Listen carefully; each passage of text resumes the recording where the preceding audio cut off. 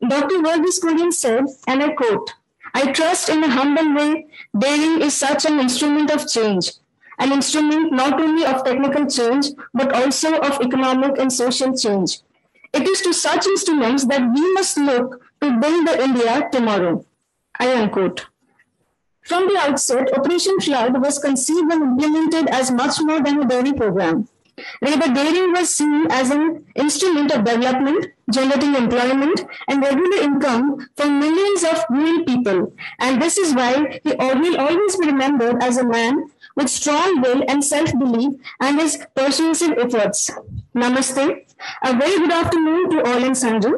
I, Dr. Smriti Smita Mahapatra, on behalf of Verghese Kurien Center of Excellence at IRMA, welcome each and everyone in the house and our online participants all across India and different parts of the world to the technical session on linking dairy science to society as part of the ongoing birth centenary celebrations of our founder, Dr. Verghese Kurien, dubbed the Kurien Mahotsav. As we have assembled here in the hybrid mode, the basic objective of today's session is to discuss contemporary issues relating to dairy in India and make strategic plan to take the dairy industry to a next level.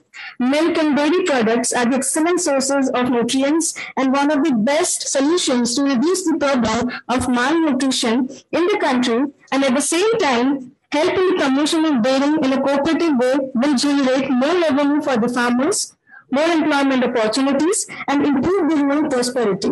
Therefore, Operation Flood can be viewed as a 20-year experiment confirming the vision of rural development. So to begin with today's session, I invite Professor Umakant Das, sir, Director, Institute of Rural Management, Anand, for the welcome address. Please, sir.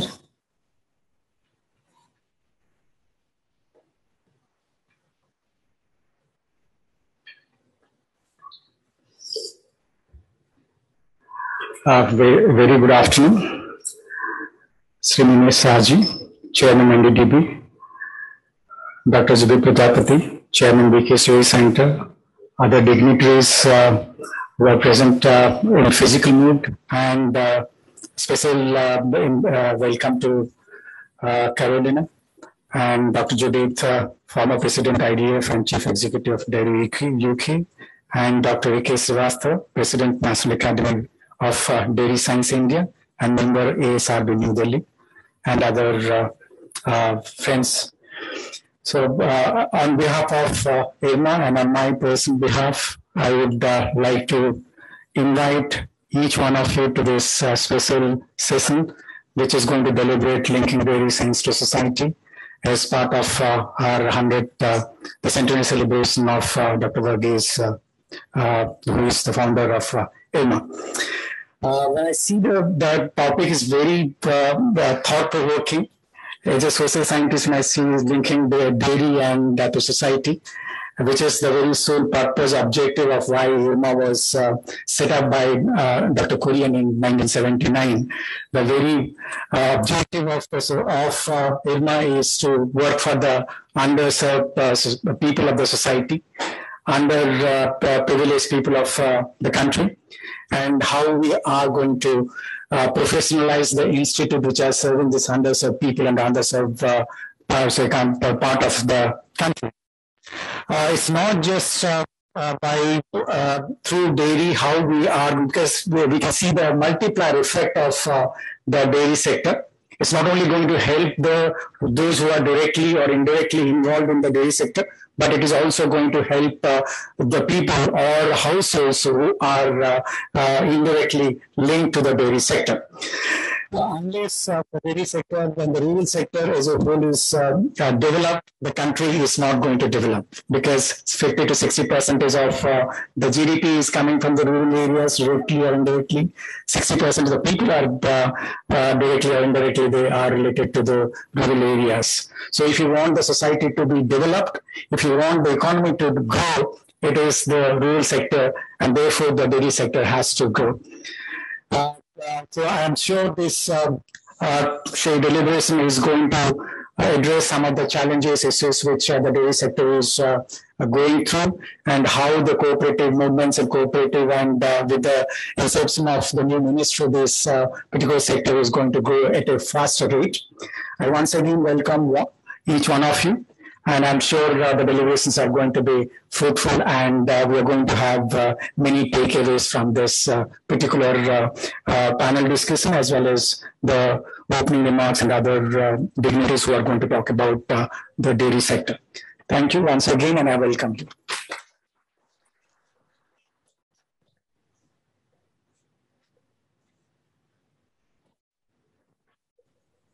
Thank you, sir.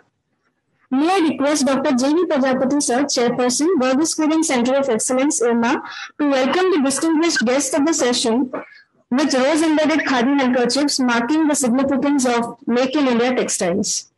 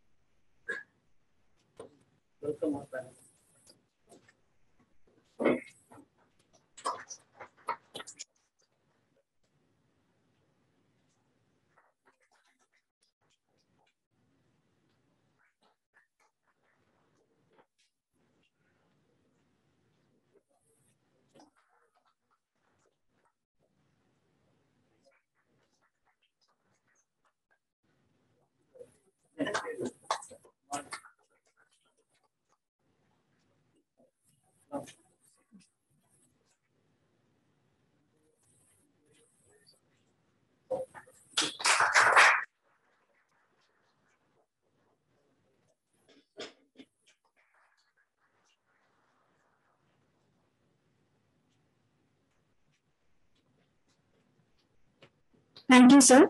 Now, may I invite Dr. Pankaj Parmar to welcome Dr. J.V. Prajapati, our chairperson, School Center of Excellence.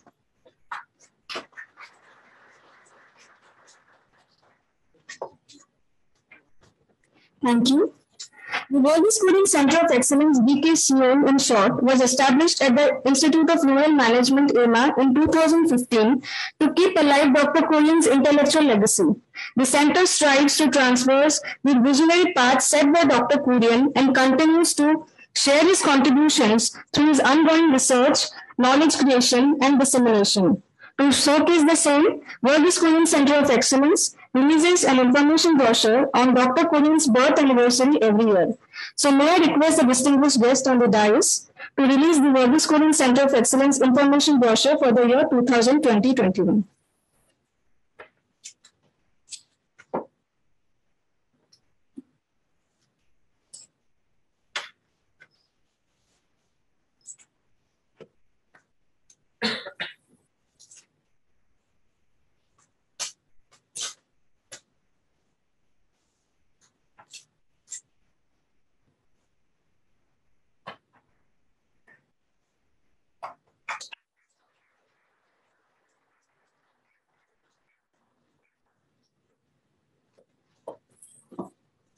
Thank you, everyone.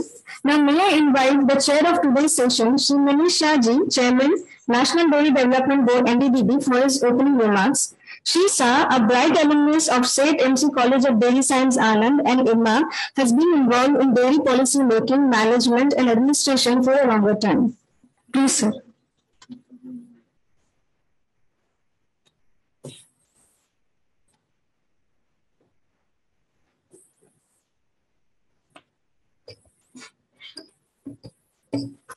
So good afternoon, good afternoon, everybody.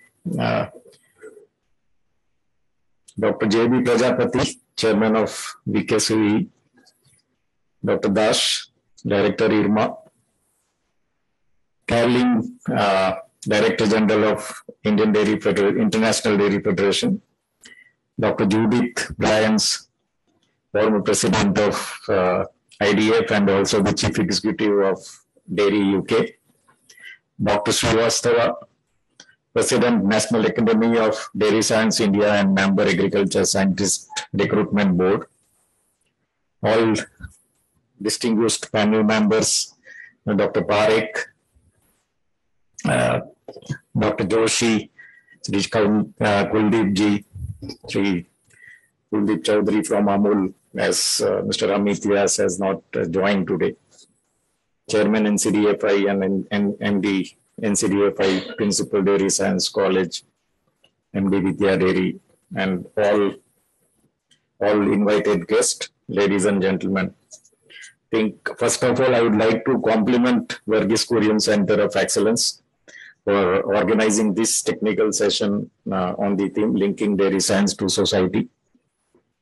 Is very much relevant and will continue to remain so.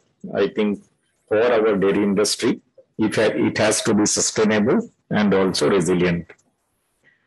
The close relations of people and cattle, uh, I think, have benefited both the species for almost 10,000 years, and they still do. Those of you who have visited NDDB's Shastri boardroom, I think we still have that limestone relief carving from the necropolis of ancient uh, Egypt, which is dated 1450 BC. And uh, it clearly establishes the relationship between these two species. The theme of the current technical session is not only linked to this, but is also a step forward in that direction. We all know India is now the largest milk producer in the world, and it contributes almost 23% of the global milk production. And as we all know, again, the milk production in India is is done by masses. I think majority of our small and marginal farmers, they together account 86% of the average operational land holding and maybe less than one hectare land. And therefore, I think uh, it it is linked to intricately to the livelihood of millions and millions of our small and marginal farmers. Dairying also is now a major source of subsidiary income for all these farmers and contributes as uh, Dr. Das told 12% of the rural household income and is as high as about 25% in case of landless households. Thus, I think dairying today provides a wide array of benefits and addresses a multitude of issues, both financial, social, economical, and plays a very important role in providing employment uh, to farmers, especially women members, and indirect employment to uh, millions of other our country fellows. I think milk is indispensable in ensuring the nutritional security in the nation. Uh, and it is also linked to the nutritional requirement uh, in our society. Uh, ensuring food security is a significant issue in our context, where more than 33% of the population is estimated to be poor, and 50% of the children they are malnourished in one way or another. So a diet that contains sufficient milk and milk products provides 25 to almost 35% of the daily protein, protein requirement. And it can have a positive effect on weight gain or linear growth and the cognitive development in the children, age maybe six months to five years, who are suffering from uh, maybe severe to moderate malnutrition. Indian dairying is also about uh, providing affordable milk and milk products to our consumers in general and children in particular. It is intricately linked to the society, as I told, and we now need to look for various opportunities to link our sector with the society. Dairy science, as I understand in the current context, refers to any scientific intervention in any aspect of dairying, uh, you know, say from farm to consumer, which improves upon the existing practices or open new vistas. And obviously, it can encompass its application of science through cross-sectional subjects, including animal husbandry, agriculture, dairy technology, and many a times in an amalgamated, amalgamated manner. So the opportunity to link dairy science to society are embedded in the challenges to maintain, improve milk production for the benefit of our dairy farmers, significantly improve the quality of milk and milk products, and also add value, you know, value addition to ensure that consumers continues to be drawn to milk and dairy products. We have to improve the operational efficiencies, reduce impact of dairying on environment, and to ensure a competitive price uh, for the consumers.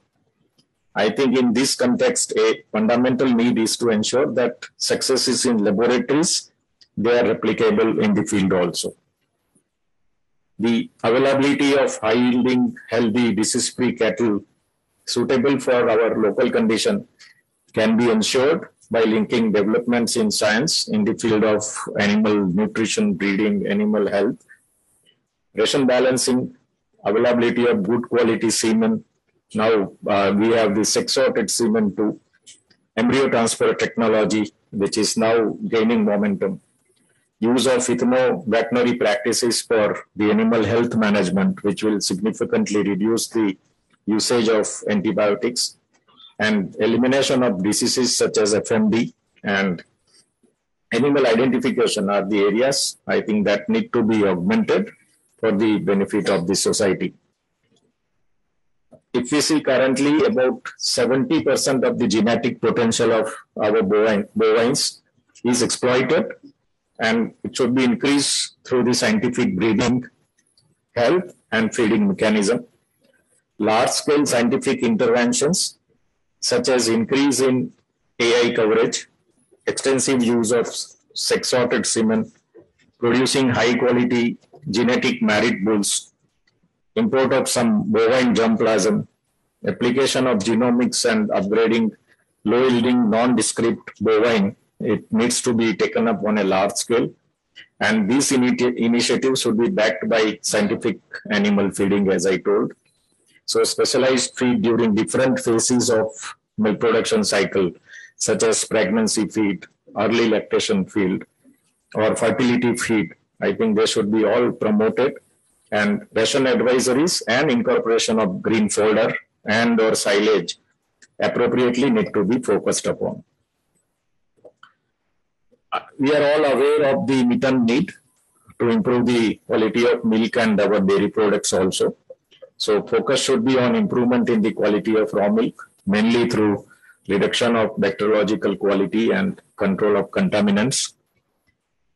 Further propagating clean milk production programs, which we have already began long back, and good hygienic practices at the entry level of the dairy value chain needs to be taken up we have seen the technological interventions in terms of uh, bulk milk coolers or AMCUs and uh, DPMCUs, along with now AI-enabled milk procurement systems, uh, which will monitor quality of raw milk right from the animal to the dairy, and they need to be implemented again on a large scale in all the areas. Appropriately designed maybe uh, reward and penalty based pricing system, I think it is also now need of the hour. It can be considered to augment the science and technology based uh, quality incentive.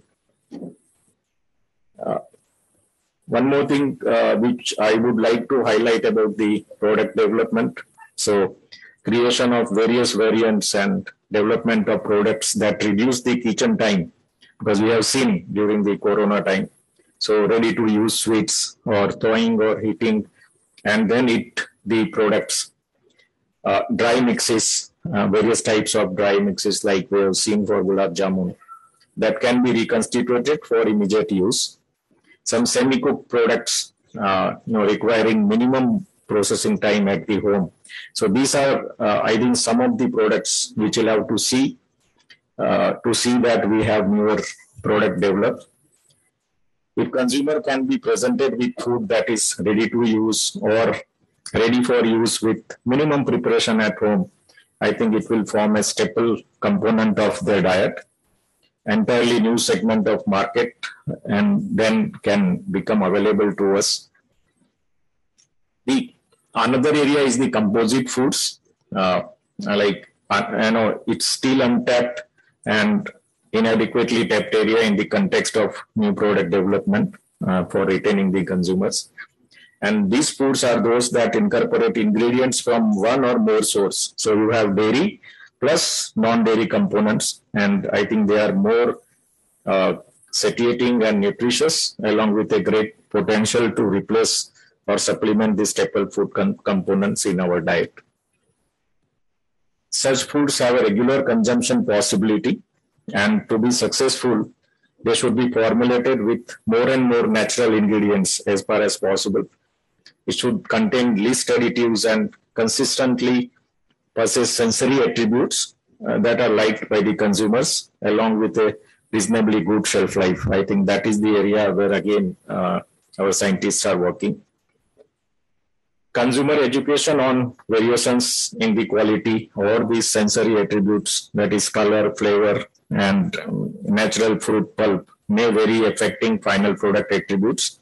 And so arise the, we'll have to see that more and more uh, natural ingredients are used therefore, and which will be an important dimension in the acceptability of such products by the consumers. One more area, I think Dr. Prajapati is here, who have worked on the probiotic foods. So foods which with claims such as probiotic foods, they have been uh, gradually now emerging in our country. And they are also foods with immunity boosting, which claims, uh, you know, an instant focus due to the recent pandemic uh, we have seen. So to be sustainably successful, I think the claims in respect of such foods should be based on sound scientific evidences and foods targeted for specific group of consumers such as children or elder people or pregnant women or sports person. That also forms another category of uh, new products i think where our industry can focus and uh, design some products.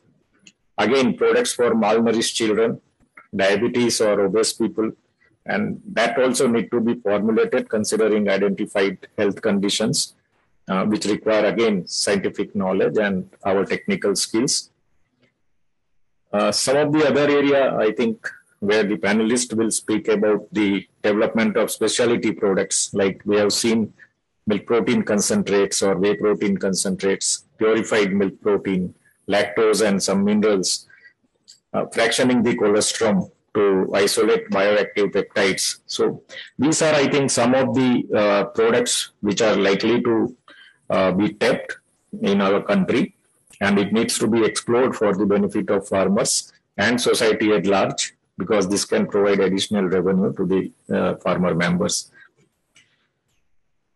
One area which I would uh, like to highlight is reducing waste and improving the operational efficiency. I think it has to be a continuous activity in all our dairy plants. So employing proven technologies and high efficiency, scientifically designed equipment to this end should be, I think, an ongoing and continuous activity. Reduction in methane gas emission, I think that is one more area by, by maybe balancing the feeding of cattle, maximizing the use of solar and other renewable energy sources, and looking for alternate materials or approaches for plastic for packaging and distribution of milk and milk products. I think these are the areas that need popularization to reduce the impact of dairying activities on our environment. So NDDB has started many such allied and useful activities uh, like generation of biogas with concomitant production of biofertilizer use of renewable energy sources commensurate with local condition. And these are the areas where we are focusing. And we have now realized that manure is the second uh, most valuable livestock product if we see after milk. And it, its proper storage and application need to be fully exploited, not only for providing additional revenue to the farmers, but also for improving the soil fertility as an economic option for energy and biofuels. So technology to segregate solids from cow dung or buffalo dung and their utilization as biofertilizer. We have developed, we have developed some filters, developed some prototype machines, but I think a lot need to be done if we have to progress uh, in this area. Uh, lastly, I, I think I'll summarize that while the dairy science has improved the livelihood of millions of small and uh, marginal dairy farmers through various interventions in milk production with improved milk quality and also uh, by various nutritious dairy products by adopting advanced technology. It has also contributed significantly to the well-being of consumer across the country. I'm sure that today's deliberations will churn out some useful approaches to augment the efforts of all the stakeholders in creating strong and useful linkage between dairy science and society. Thank you. I think before I close, I would also like to uh, just, uh, before inviting the speakers, I will just uh, like to introduce them. Our first speaker is uh, Ms. Caroline Emond. She is a Director General of International Dairy Federation. She was appointed Director General uh, in February 2018. She is from Quebec, Canada. She's a lawyer by profession and has been a diplomat and has more than 20 years, 25 years experience in senior executive and public affairs roles in private, public, and also non-for-profit sectors. Having worked nine years in the Canadian dairy industry and abroad, she has a deep understanding of the dairy sector worldwide from various angles, be it producers, professors, research, policy, regulation, any angle you see, and experience with international organizations also such as WTO, FAO, ISO, and Codex. Next speaker, uh, Dr. Judith Bryans. Dr. Judith is the Chief Executive of Dairy UK. She took over the running of the organization in 2000, October 2013. And prior to that, she was director of the Dairy Council, a position she held from 2006. She was elected president of the IDF in 2016 and served for a four year term in that role. After completing her term as IDF president, uh, she was made an honorary member of the IDF and is also the chair of the IDF task force on the Food System Summit. Judith also served on the board of the Global Dairy Platform. At a European level, she is a member of the board of the European Dairy Association. And in UK, she is a board member of the number of organizations, including Dairy Energy Savings and the Milk Marketing Forum. She has a PhD from King's College London and is a registered nutritionist. Uh, third and uh, last speaker will be uh, Professor and Dr. A.K. Srivastava, member in Animal Science and ex-director and Vice Chancellor of NDRI Karnal. Uh, Dr. Srivastava, a distinguished pharmacologist and toxicologist, is a member of Agriculture Scientist Recruitment Board before joining ASRB, uh, DARE, Ministry of Agriculture and Farmer Welfare, he was also director and vice chancellor at ICAR NDRI Institute, uh, Karnal. He is also a vice president of National Academy of Agriculture Sciences, uh, president National Academy of Dairy Science, India, and patron of Indian Dairy Association. He is a distinguished member of National Academy of Science fellow of National Academy of Agriculture Sciences, and host of other uh, such associations. He has been decorated with numerous prestigious awards and honors, including ICAR Jawaharlal Nehru Award, International No-Seal Award, and so many others. I think uh, it will take a long time for me to read all the awards. And uh, he has more than 250 research papers in his credit and has guided more than 30 PhD and MVS, CMS, or MD students. So I welcome all the three speakers and uh, we can start this session now. Thank you so much. Thank you.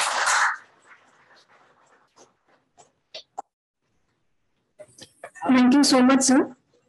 May I request our guests to occupy the front row uh, before we begin the virtual session?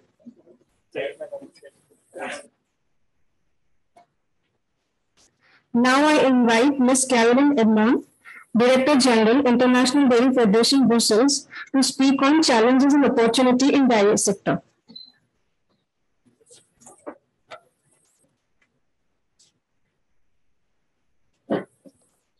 Thank you very much. Good afternoon, everybody, distinguished guests uh, and dear colleagues. First, I'd like to thank IRMA for the privilege to participate to this webinar which is part of the Kurien, uh, Dr. Kurien anniversary celebration.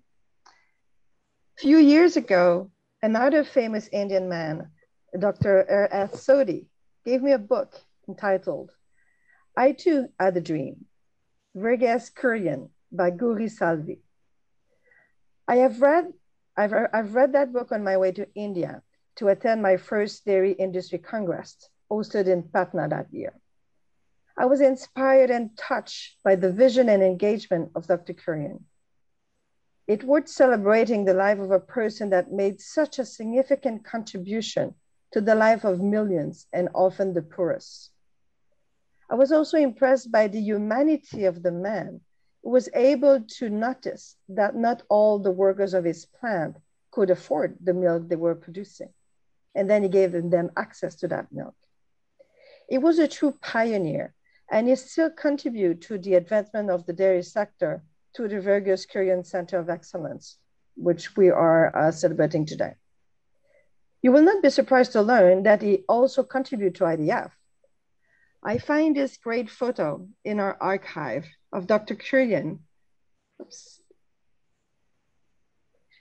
at the uh, IDF World Dairy Summit in Delhi in 1974. So as you could see, he was also part of IDF community. The title of the event today is Linking Dairy Science to Society. What could say that dairy science purpose is to serve society? By providing research and knowledge for the development of good farming and processing practices, dairy science ensures quality dairy food and efficient resource utilization by providing facts and evidence to regulator so they can make science-based standard and policy.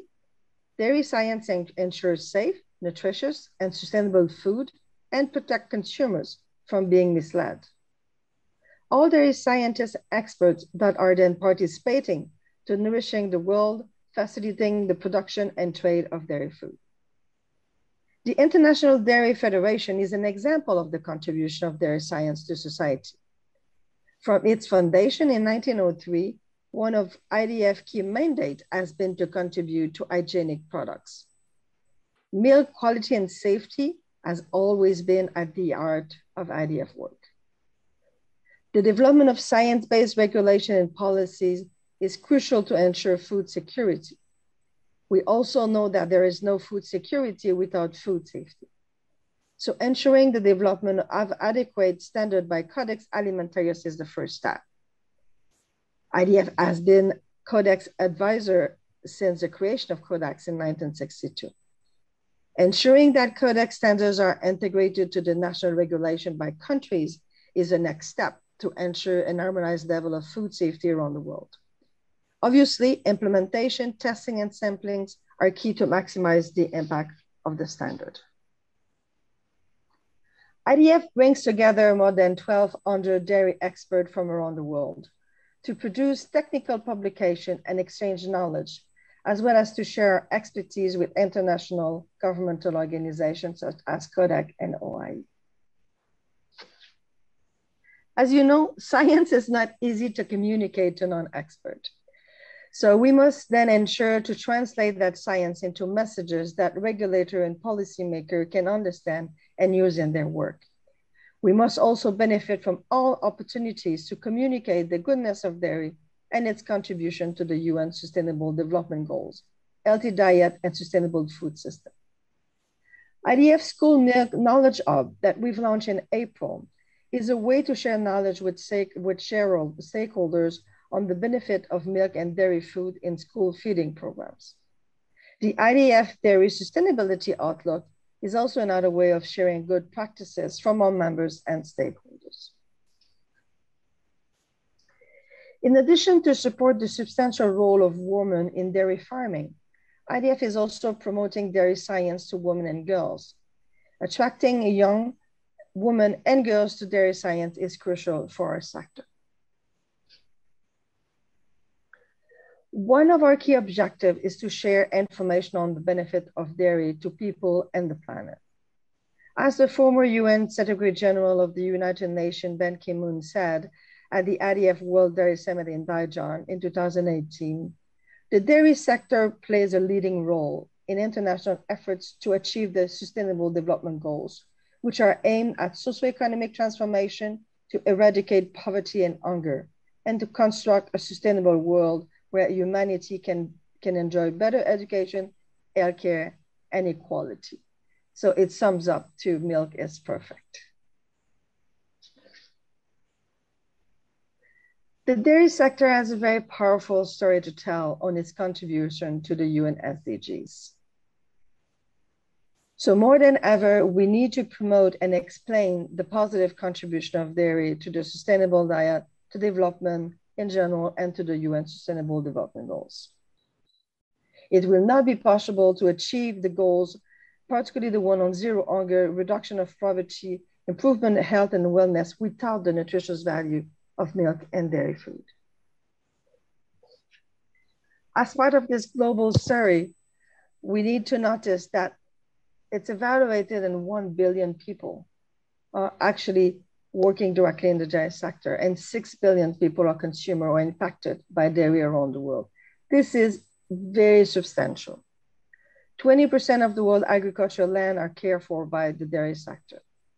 And the global level of milk contribution, an average of 5% of energy, 10% of protein, and 9% of fat. Milk is one of the most produced and valuable agricultural commodities worldwide. It ranked third by production by tonnage.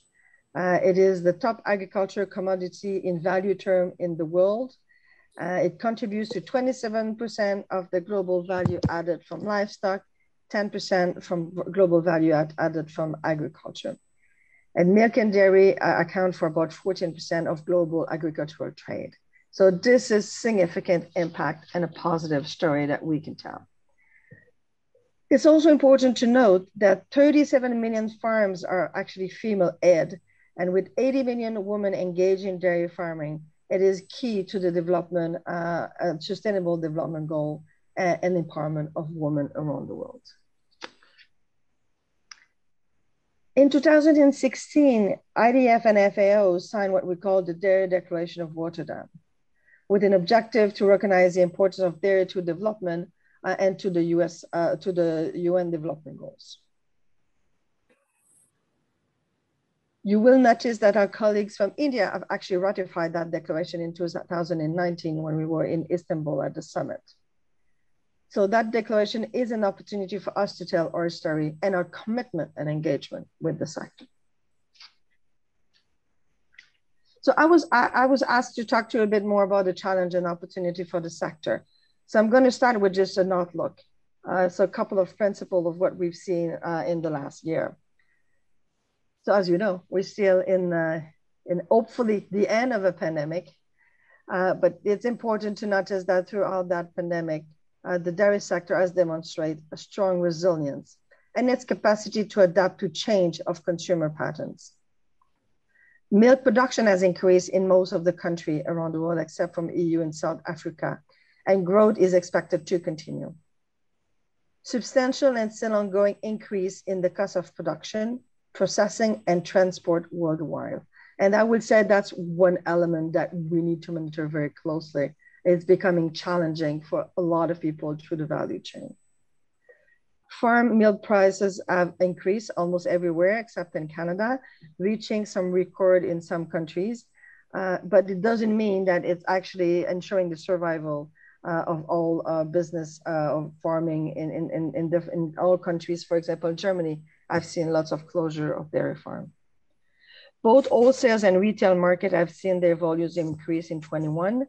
This is especially true, especially due to the change of consumer pattern from consumer during the pandemic. Now that most of the country are advanced in vaccination number and have reopened their food establishment and services, uh, there's an expectation that it will return to a pre-pandemic consumer pattern. Uh, international dairy trade was not uh, affected significantly by the COVID pandemic uh, and the subsequent lockdowns. Uh, and the global conversation on climate change for the COP26 sustainable food system with the UN Food System Summit and healthy nutrition diets are impacting also the dairy sector and need to be monitored uh, closely. If you are interested to learn more about the situation of the dairy markets around the world, I encourage you to go on our website. You can access the World Dairy Situation Report 2021 that was released in October, where you can find introduction information, general chapters, global. We also have a special text from the OECD uh, on the projection for the future, when we have then also chapter by country, uh, and we have uh, you have access to all the data uh, as well as slides uh, with different maps and figures so you can present uh, um, about the dairy situation. So all of that available in the World Dairy Situation Report. Let's talk about a couple of challenges. Um, chairman from the NDDB uh, made a very good overview of the situation in India and most of those challenges and opportunities are common uh, in different countries. So you might see some of them that will come back in my presentation. Uh, the first one, I, I, I, always call it the social license to operate. Uh, and it's linked to safety and quality. That's expectation from government and consumer. Uh, environment, animal, animal health and welfare. Uh, those are elements uh, that actually the consumer and government are expecting the dairy sector to deliver. So they are key to our sector. Food policy. so we have policy in some countries on sugar, on fat, on salt, You've seen some front of pack labeling, sugar tax, marketing ban, uh, review of government issued derogatory guidelines. So all those elements are very important. I'm sure that Judith will go a bit more in detail on all those elements, but that is something that is a challenge for the sector and that we need to monitor closely. Uh, and I would say that's one of the key elements from IDF because we can benefit from the experience of other countries because not all of that is developed at the same timing so we can benefit from colleagues in Latin America who have seen front of pack coming much earlier than in other countries. So that's a very benefit of IDF being able to share that expertise and, and, and get some learnings for the next country when they see those challenges happening, then they can they can address it. Uh, obviously, things that you're hearing more and more, and I know that's also a preoccupation in, in India, the perception that plant-based products are more sustainable. And I use the word perception because you would know by using that word that I disagree that it is that it is equal.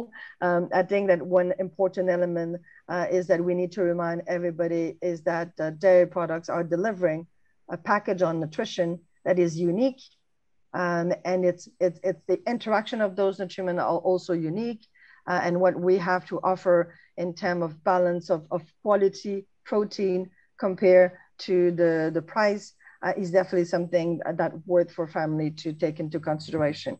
Um, so we can't say that all products are the same; they are different, um, and and consumer needs to know what they're getting, uh, and and then they can make that decision. Uh, and the last bullet I've put in the importance of science-based facts in a world of social media. Um, those fake news, uh, easy access to opinion, opinion, and I would say in the last events we've seen internationally, and Judith will be a witness to that, we hear a lot of opinions. People have lots of opinions. Uh, and they think this and they think that, and this one is better, and you should do that.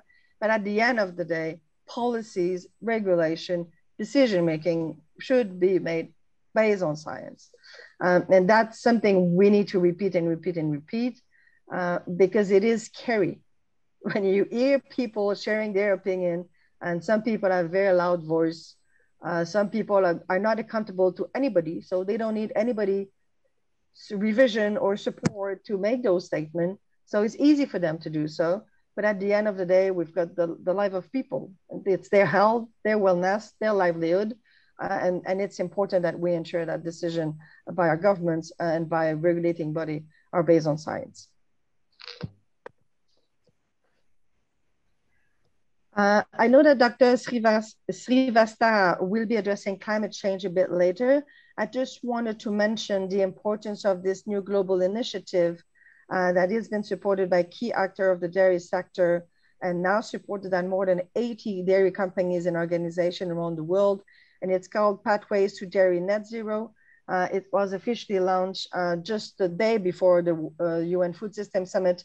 And we had an event as well in COP26 um, and this is, is, is very an important initiative. Uh, if you haven't looked into it, I encourage you to go on the website you'll see the declaration. You can support, you can join in. There's all kind of action you can do.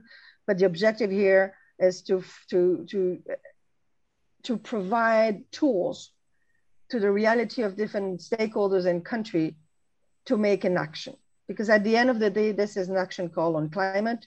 Uh, everybody are starting from different reality, different starting point, and this initiative is about bringing everybody on board uh, and finding solutions that are different for different countries. That's why it's called pathways, uh, because in the pathways you can find different elements. Uh, and one of this element is, is reducing mitigation of, of green gas emission. Uh, and obviously, um, as, as, as Dr. Shah mentioned earlier, uh, the importance of incre increasing productivity, efficiency uh, of, of, of, the animal will actually have, is one of the actions that can be taken to reduce climate change. Let's be more positive now and talk about opportunities. Uh, there's plenty of opportunities, and I, I, I felt that uh, that chairman of NDDB did a very well overview of all those opportunities, uh, improve opportunities to improve, opportunities to grow, uh, uh, opportunities to engage. Uh, so all of those opportunities are very important.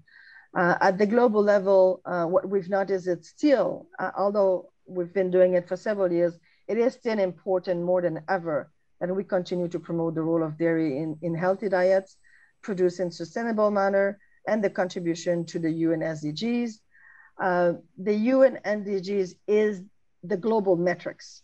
That's what countries are using to talk about improvement. So we need to make sure that work we do in there is recognized uh, in, as an action by government uh, into the realization of those uh, sustainable development goals. Provide knowledge and expertise to IGO, such as Codex and OIE and regulator. It is key, as I just mentioned earlier, as a challenge that science-based is important, then as an opportunity, we have, uh, we have this chance uh, of bringing up the science and making sure uh, that the, the governments and the regulator are aware of all the good work that is done through IRMA and others uh, in making sure that uh, they have all the information before they make a decision. Development of guidelines and methodology to facilitate implementation of international standards and regulation and to support the actors of the dairy chain to provide safe, sustainable, and nutritious dairy products. As I mentioned earlier, there is no food security if there's no food safety. Uh, and our role is to make sure that every every actor of the value chain, whatever it, whatever it is at the farmer level, processing level, transport, or retail level, uh, that all the best practices uh, are used and respected and understood by everybody. So every tools we can develop to facilitate that learning uh, is, is, is, is actually part of the opportunities. Continue to support research, innovation, and promote science behind dairy. Again, I think that's key. Uh, our sector is very dynamic and, and, and following and, and developing and bringing those new innovation and product. Um, and if you follow the work of IDF, uh, we've done during the summer, uh, the summer a series of webinar on dairy, uh, digital dairy. Uh, was a there was four webinars. They are accessible on a website very, very interesting in all different aspects of technology that could be used at the farm level, processing level, um, even in, at all level, even at the consumer level. Um, so this is part of the, the sector that we are in. So we stay, we stay on the top of the game. And my last one is to contribute to the IDF work because that's a clear opportunity and making sure that you, you work is also taking uh, into consideration your expertise is part of the global expertise uh, is also is also key. Now it is my uh, promotion time of the day. So I'd like to invite you all uh, on behalf of IDF community to attend the IDF World Dairy Summit in 2022. We'll be in Delhi on uh, September 12 to 15, uh, and we look forward to have you uh, participate to this very, very global event. Uh, and the, the, the theme of the event will be uh, Dairy for Nutrition, Security, and Livelihood. Uh, so very much in line with the discussion we just had about challenges and opportunity. Uh, and really, really hope that you can join us. Uh, as you can see, we've got the conference at the beginning from 12 to 15, then technical tour, social tour. That would be a great opportunity to connect and engage uh, with your colleagues from around the world. Uh, so I really encourage you to uh, to um, to join us at a time. You'll have the link of the website that will be available soon, and I'm sure that NDDB will share that with you. So that's it for me. I look forward to the, your questions and the discussion uh, that we'll have a little bit later. Uh, and I want to thank you for your time and namaste. I look forward to be with you in person next time. Uh, and then I'll pass the floor to J Dr. Judith Bryans. Thank you very much, uh, Caroline, for a very nice presentation. I have just one question. If you are staying back till the three presentations are over, we'd like to take questions for all the three, three speakers together. That's okay for you? That's perfect. Okay, okay. Thank you then. Then we'll start with uh, presentation from Judith. Dr. Judith, please. Good afternoon, everybody, and namaste. Um, I'm absolutely delighted to be here with you today for this event, for this centenary event for Dr. Kurien. Uh, it's an absolute pre- pleasure, and I want to thank uh, Dr. Prajapati for inviting me to do so. Now, I have a technical issue here today. Um, technology is wonderful when it works, but sometimes it doesn't work for me. And today I have a technology issue, which means that I can't share my screen. So I'm going to have to ask the organizers to kindly uh, show my presentation for you and also push the slides on. So I will beg your indulgence for me having to do that. Hopefully it will all open okay. Yeah, it's opening. Fantastic.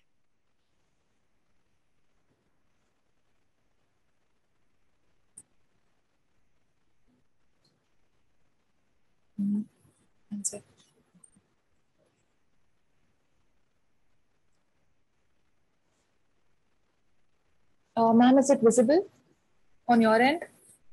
Yes, I can see it. If you could just put it onto the next slide, that would be brilliant. Thank you very much. Thank you. It's great. I can I can see it my end. So I yeah, thank you. So I'll just start. So apologies everybody again for the delay. I'd like to continue in some ways my presentation where Caroline left off. And I really want to start by talking about the fact that although I was asked to, talk about the contribution of dairy to nutrition and health, it would be very easy for me just to talk about nutrition and health and not to put things into a world context. But the reality is, we are judged on our contribution to nutrition and health by the world context in which we live. So I am also starting my presentation with a slide of uh, Dr. Ban Ki moon, um, who is the former Secretary General of the United Nations. And the picture that you can see on the left hand side is from October 13th, 2011. And on that day, the United Nations estimated that the world reached 7 billion people. And the projections towards 9 billion people go ahead for 2050. And on that day, Dr. Ban Ki moon said something very profound, which was that our world is a world full of terrible contradictions. We have plenty of food in the world, but a billion people go hungry. Some people have lavish lifestyles, but other people live in absolute poverty. And we have to do better. So that's a real challenge for the world. Could I ask somebody to push on to the next slide, please? Thank you. One of the other challenges that we have is that the world demographics are changing. This UN publication shows us clearly from population statistics that the world is on a brink of a demographic milestone, as it calls it. Since the beginning of recorded history, there have always been more children in the world than older people. But that's changing. We will soon have more older people in the world than children, and more people of extreme old age than ever before. Next slide, please. Now, I think we have to recognize that getting older is a really good thing. We all want to be alive. And we're all getting older for fantastic reasons for improved healthcare, for example. But old age comes with its own challenges to global health systems and global health systems that already are under severe pressure. So we have to find a way as we move forward to look after our elder people so that they're not just old, but they're healthy and old. And I think that's really important that we recognize that for those countries where there is extreme old age, we also want to keep people in extreme old age as healthy as they can be for as long as they can be so they're there for their families. And from the perspective of where the dairy sector may have its future customers, there are obviously very great opportunities for specialized foods for elderly people. Dairy foods, as they are, are also great for elder people. And I'll talk about that later on the new children coming into this world will not be coming into this world in places like Europe as we go forward when we talk about massive population growth. They will be coming into the world in the high fertility zones, which will be in Latin America, Sub Saharan Africa, India, Southeast Asia. So we really need to ensure that we're looking after both our children and also our elders into the future. Next slide, please. So, when we think about all of that, then we have to think about what the definition is of a healthy diet. And if you look at the World Health Organization, their definition is very stark. It's a diet that helps to protect people against malnutrition in all its forms, as well as non communicable diseases such as diabetes, heart disease, stroke, and cancer. But there's nothing much in there that talks about keeping them healthy. It's just about disease avoidance, which is obviously critical too. But let's see why that definition is so stark. Next slide, please. Our healthcare systems, as I mentioned before, are under a huge burden. They're under huge burdens for a whole variety of reasons. The levels of non communicable diseases in this world are going up. Malnutrition in all its forms are a problem. And when we talk about malnutrition, we very often talk about severely malnourished people. And we talk about people who don't have enough food in the sense that they're either stunted or wasted. We also talk about people who have micronutrient deficiencies. And on the other end of the scale, we talk about people who are malnourished because they're consuming an excessive amount of food. And therefore, they have conditions like diabetes, obesity, and leading on from that, heart disease and stroke risk increases. The large number of people who don't have enough food in the world really are having their lives taken away from them. As children, they may be stunted, they may be wasted, and that will impact not only on their physical health, but their ability to physically grow, to mentally grow, and be productive adults. And for those people who are obese or morbidly obese, life is not so easy either because of the extreme medical conditions that they can develop. So we have to think why WHO has come up with that definition is trying to find a balance. And at the same time, we are not delivering on our sustainable development goals. We are nowhere close to zero hunger in the world. And there is a major focus now on ensuring that diets are sustainable not just from a health perspective, but also from an environmental perspective. And that's the correct thing to do for the future of the world. Next slide, please. If I go out into the street in the UK, uh, where I'm where I'm living, I'm an Irish person, so I could go out into the street there too. And I ask somebody what they think a healthy diet is, they will not give me the World Health Organization definition they will say to me that for them, a healthy diet is something that's affordable. They want to be able to afford food for their families and they want that food to be safe and they want it to be nutritious and they want it to be culturally acceptable, whatever ethnic background they have.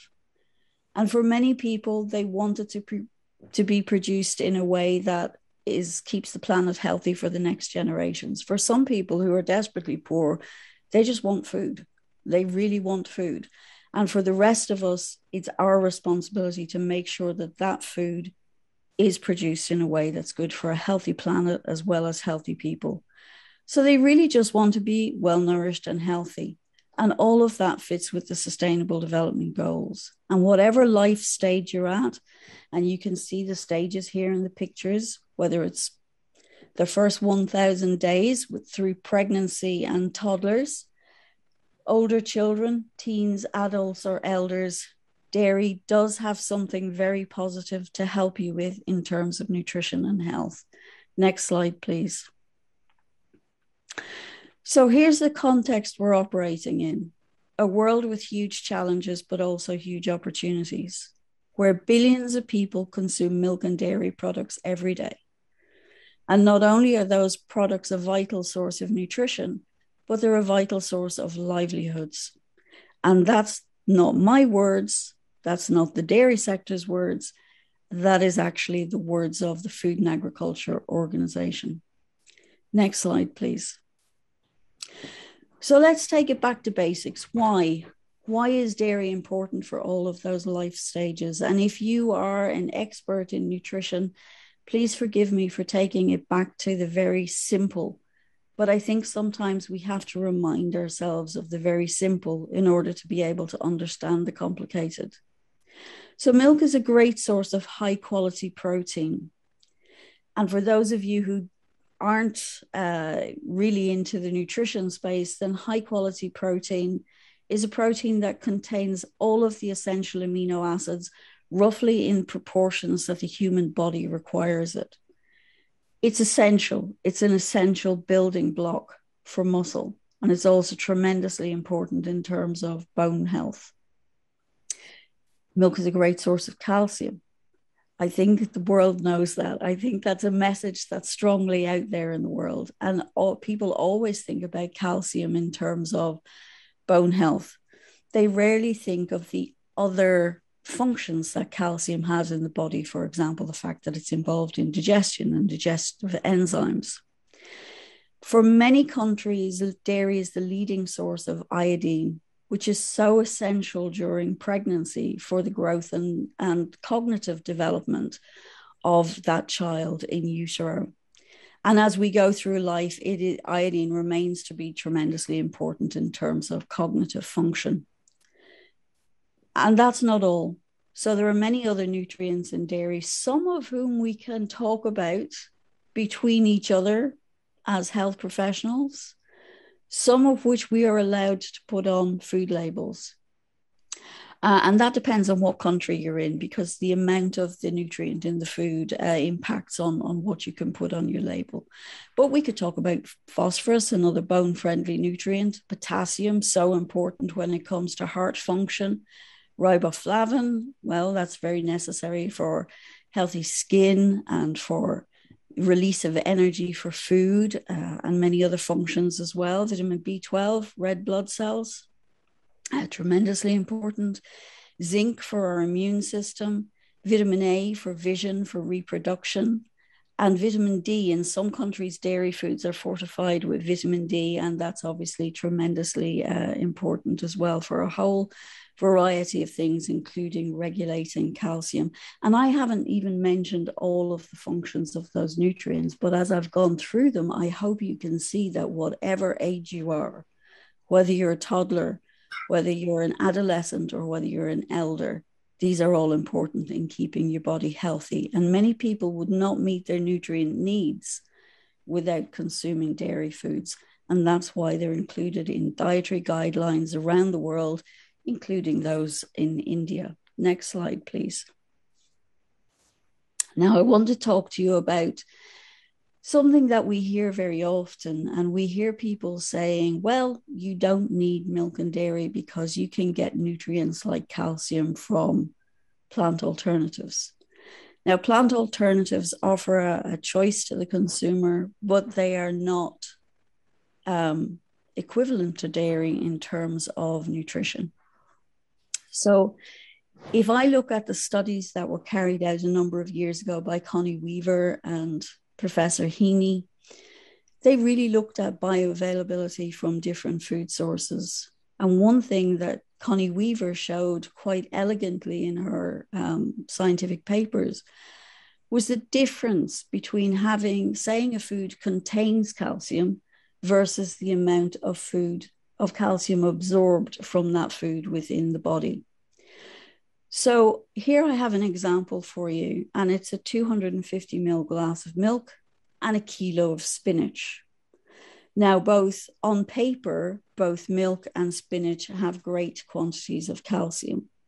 But when it comes to the amount that can be absorbed, you have to eat all of that spinach to get the same amount of calcium that you can get from that glass of milk. And that's because the calcium in milk is highly absorbable, whereas plant foods contain plant acids, oxalates, uh, that bind to calcium, making it less available in the body. So, plant foods are very good foods in themselves. Spinach is a great food. It has lots of fiber, it has lots of antioxidants. It's a great food. I'm not knocking spinach. What I am saying is we have to be very careful when we talk about or when we listen to people who have strong opinions, as Caroline mentioned earlier, saying that plant foods or plant based alternatives are the same as dairy because they're nutritionally different. Each has its own merits, and dairy foods can complement plant foods and the other way around. Next slide, please. I think it's also very important that we remember that dairy is not just calcium, it's not just protein, it's not just zinc. It is a composition, it is a matrix, and the matrix is very important in how the body reacts to the food physiologically. So, there's been a lot of work done in recent years about the dairy matrix and its impact on health. And it would seem that dairy foods consumed as a whole food have a more positive impact on the body than giving people the single nutrients that you can find in dairy food. And again, if you're an expert in nutrition, I apologize for making it so simple for you. But many times when I give talks, people aren't experts in nutrition. So I try to put something in for everybody. On the right hand side of the screen, you'll see this um, orchestra. I believe that this is the Norwegian Philharmonic Orchestra and they were very dedicated and carried their instruments up the mountain in the snow to play a symphony. And the reason I have that is I like to think of the Dairy Matrix as an orchestra. Each of those players sound wonderful by themselves, but when you put them all together, that's when you get the great sound of music. You could consume individual nutrients, but that's not how people eat people eat food. And when they consume dairy, they get the benefit of the dairy matrix for their health. Next slide, please. So, I want to talk a little bit about the fact that during COVID 19, many school feeding programs closed down.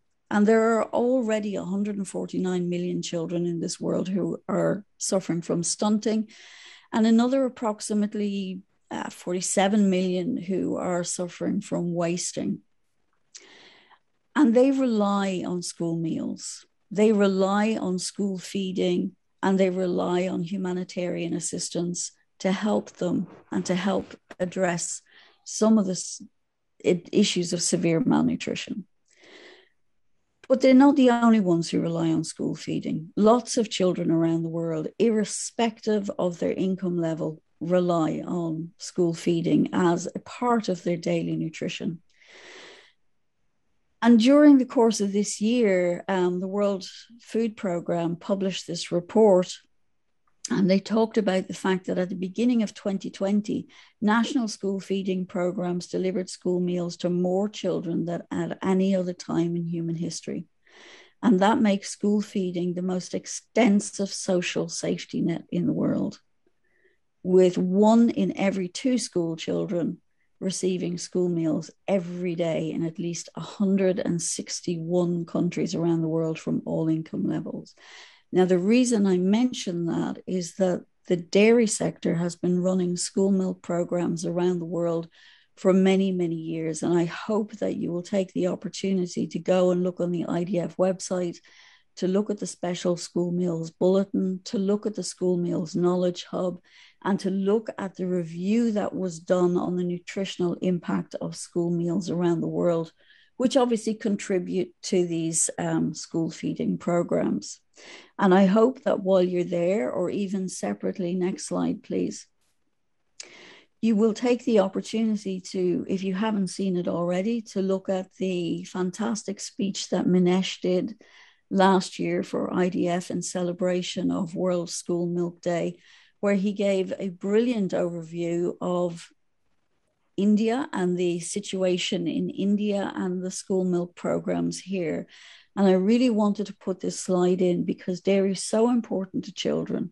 We are such the backbone of their nutrition as they grow up. And it was really heartening to hear the great work that's been done in India on school uh, on school milk programs and other programs. So next slide, please. I want to move to the other end of the scale now. I want to move away from talking about children and I want to talk about elders because we mentioned them at the beginning in terms of changing demographics. Dairy is critically important in terms of providing uh, nutrition for elders. As we as we get older, we want to eat less. We lose our appetite. Many people who are older also have issues with dental health they're more prone to fall, they're more prone to fractures.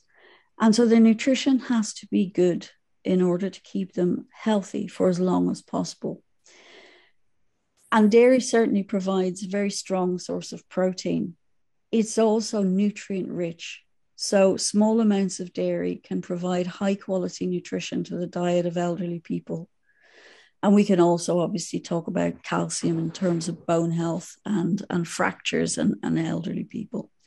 And the other thing is, when people lose their appetites, it's very hard to get them to eat.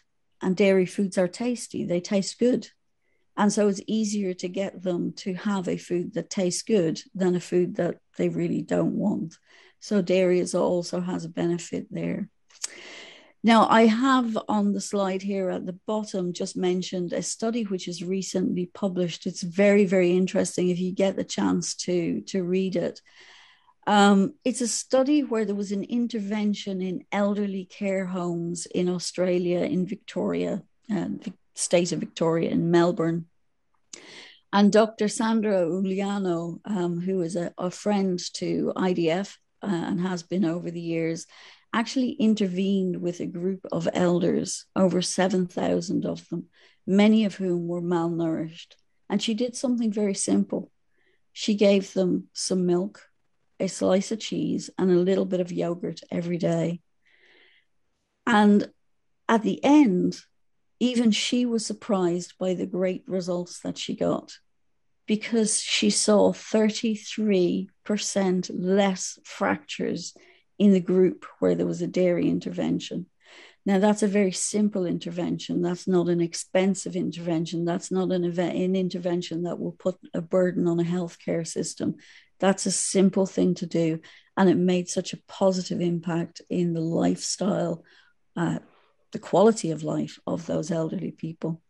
I was also very happy when I looked on the uh, website for the Indian Dietetic Association to see that in their tips on healthy aging, aging, they had mentioned reduction in appetite and the fact that it was important to give people milk and other protein food, high quality protein foods. If you could push on to the next slide, please. Um, very often in the dairy sector, people point the finger at us and say that we cause disease. And I think, you know, that's a, a very difficult one for the dairy sector because very often some of the people who do that. Again are people who have very strong opinions um, and not always backed up by the the bulk of the literature. So i just wanted to mention the fact that you know obviously the overall burden of disease we assess using the disability um, adjusted life year score or DALY or daily if you'd like to pronounce it that year which has been put in place by the world health organization and it's a time based measure that combines years of life lost due to premature mortality and years of life lost to um, where you haven't been in full health, basically. And one DALY is equal to one year. So, although this is very small and you may not be able to see it on the screen, um, you can have the slides afterwards. So, hopefully, you'll be able to see it then. I wanted to show you two things. I wanted to show you the slide on the left. And at the bottom, there is a list of things in which people are deficient, uh, which increases their loss of life or increases their DALY. And one of the things here is that people who are low consumers of dairy actually have increased DALYs. So that's not fantastic because it means a loss of health uh, for them. And on the right hand side, I wanted to also show you that um, eating dairy daily greater than two portions of full fat dairy is associated by 32 with 32% less cardiovascular events and 25% less mortality overall. Now, they're just two quick snapshots because I wanted to recognize the fact that while I'm telling you lots of positive things about dairy, there are lots of people in the world who say we cause disease. But when we look at the DALYs, we see that we're actually beneficial to, um, to nutrition and health. Next slide, please. Caroline mentioned labeling earlier, and I wanted to put these slides in because, if I'm being honest, I don't know at what stage um, you are in India in terms of people wanting to put dairy and other foods into a profile and label them as good or bad, or put red or green or, or amber on them. But in many countries of the world, that's where we are. And if you don't have that at the moment, I hope you never have it because it's too simple a system. I wanted to give you two different views of the world one as a nutritionist and one as a policymaker. If you're a nutritionist, you look at this, it's a nice breakfast. It's got some cereal, some fruit, and some yogurt and some nuts.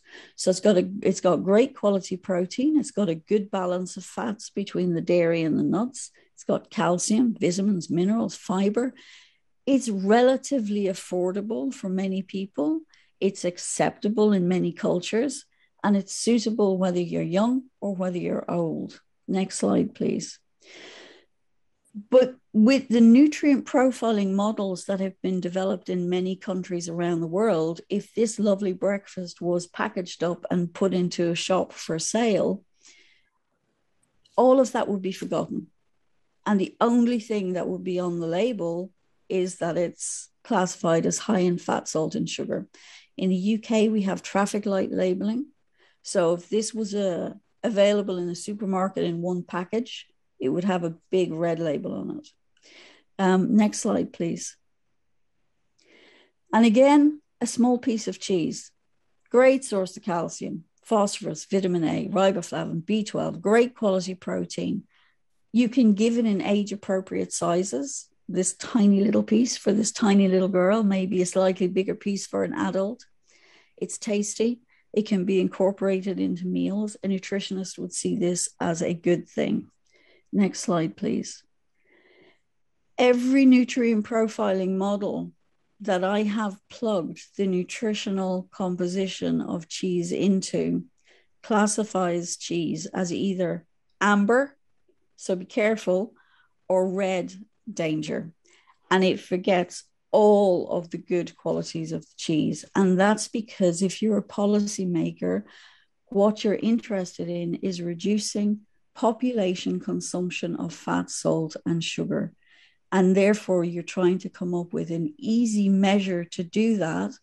And in coming up with that easy measure or that easy representation, you're losing um, the full view of the food. So my caution to you is please um, make sure, uh, next slide, please, that you are reminding everybody that we as a dairy sector are reminding everybody that since dairy was discovered, human beings have been consuming it. it's good for our health. Our consumers love it. And even in countries where consumers were moving away from dairy during COVID 19, they rediscovered how good dairy was because they went back to things that were reassuring and good for their health. A lot of people around the world would not have high quality diets or even adequate quality diets without um, the consumption of dairy foods. We're more than just a package of nutrients. We help economies, we help individual livelihoods, we look after land, all of those things that Caroline mentioned earlier. And we're essential as part of those programs that help deal with malnutrition. We're good at all life stages. We're not perfect. No food sector is perfect. All food sectors come, for example, with an environmental cost. There's no food produced that does not have an environmental cost. But we do good in the world and we are committed to doing better. We are committed to being more environmentally friendly, to sustainable development, and we need to remind people about that because if we don't do it, nobody will do it for us. So I think I've gone over time. I'm sure I have. I apologize for that. I thank you all and I thank um, the people who've pushed on the slides for me today. Thank you very much indeed.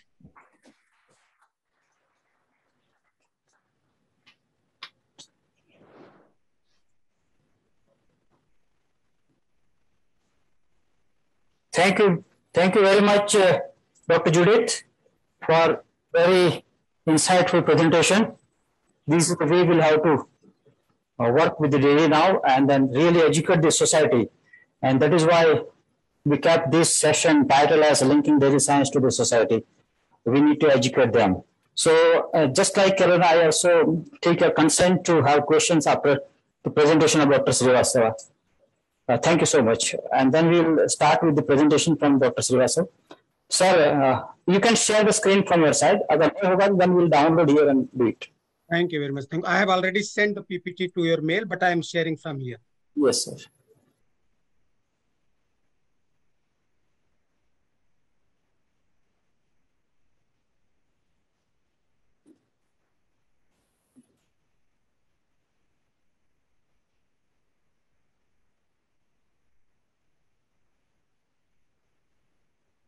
I hope it's visible now.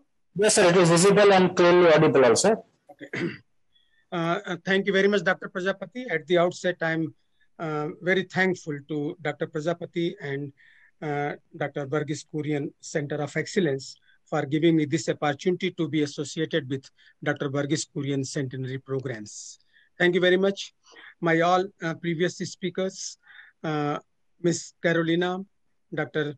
Judith, Professor Umakant Dash, Director IRMA, and, and Sri Meenesh Chairman NDDB, dear participants, Dr. Prajapati, very good afternoon to all of you. I will take 30 minutes just to explain that what is the status of dairy sector contributing to the greenhouse gas and how we can go ahead so that our dairy sector is not contributing anything to the greenhouse gas emission or climate change. So topic has been given, the heading towards carbon neutral dairy. Straight away, I come to the uh, topic. There are three most important major greenhouse gases which are responsible for the climate changes. These are the methane, nitrous oxide, and carbon dioxides. This is the global picture that what was the status of methane and nitrous oxide in 1750 and now what is the status in 2019 now you can see that it was 1137 ppb and now it has gone to 1800 similarly nitrous oxide if you see from 62 to 332 if we want to conclude that is in addition to the carbon dioxide. In my all presentation what i talk methane gas or nitrous oxide or carbon dioxide it is equivalent to carbon Green, among the greenhouse gases, the methane gas grew from 7.6 ppb per year in the last decade, and with the faster growth was in the last six years, that is from the 2014 to 2019. Similarly, the nitrous oxides growth in the environment was very high in the last decade, that is from 2010 to 2020, 2019, and that was at the rate of 0.95 ppb. What I want to say that in the last six to 10 years, the level of either methane or nitrous oxide or carbon dioxide is increasing in the environment very sharply in totality. In the last 10 years, few terminology has been coined and one is the carbon neutral for which we are talking today, climate positive, climate negative, carbon negative, climate neutral, net zero carbon emission, net zero emission. We are concerned about the carbon neutral. Carbon neutral means if carbon dioxide or any other greenhouse gases which is equivalent to converted into equivalent to the carbon dioxide released in the atmosphere from activity, but it is balanced by an equivalent amount being removed. So what I want to say in general terms, that if dairy sector is releasing X amount of greenhouse gas in the environment through its practices, then it should remove also X amount of the greenhouse gas from the environment. It will be a carbon neutral dairy. Few facts about the global dairy, as has been talked by previous speaker. In the last three decades, world production of the milk has increased more than 59%. It was 530 million ton in 1970 and now it has reached to 906 million ton in 2020. So there has been 59 to 60% jump in the global milk production. With 22% of global production, India is the world largest milk producer, followed by USA, China, Pakistan, and Brazil. We are producing more milk we are emitting more greenhouse gases, and that is the point of concern for today's discussion.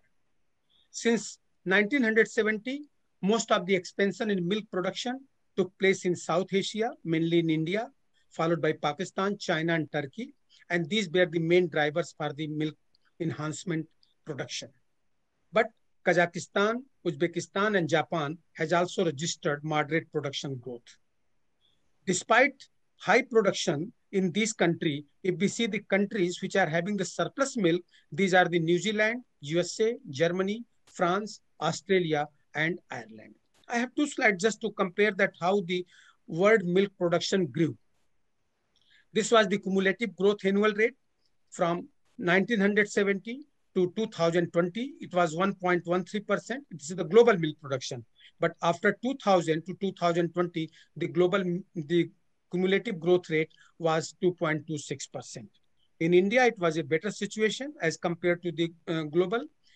In India, from 1972 to 2000, the cumulative growth rate was 4.4%, but from 2000 to 2020, the milk production cumulative growth rate was very high, that is the 4.76%, and this year it was approximately 6.75, 6.5%.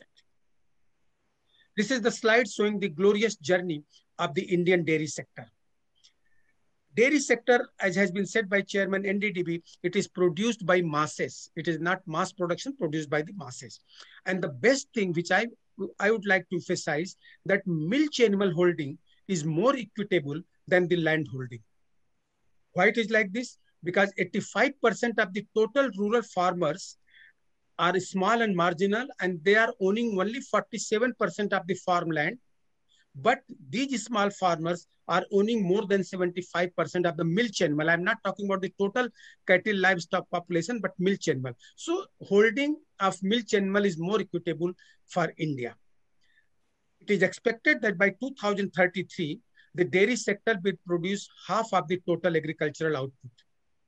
It is a good scenario that in early 70s, India's milk production was only one third of US and one eighth of European countries. But today we are producing twice of US and 25% more than European Union. This is the government of India data. Milk in India is the largest agricultural commodity. If we talk in the terms of value, the value of only milk is more than the total value of all grains, including rice, wheat, etc., all pulses, and sugarcane also the value of only milk was more than 8 lakhs crore as compared to only 4.5 lakhs crore of all grains, pulses, and sugar, cane. Today in India, white revolution contribution surpass green revolution. Every fourth rupees is coming from the dairy sector in India.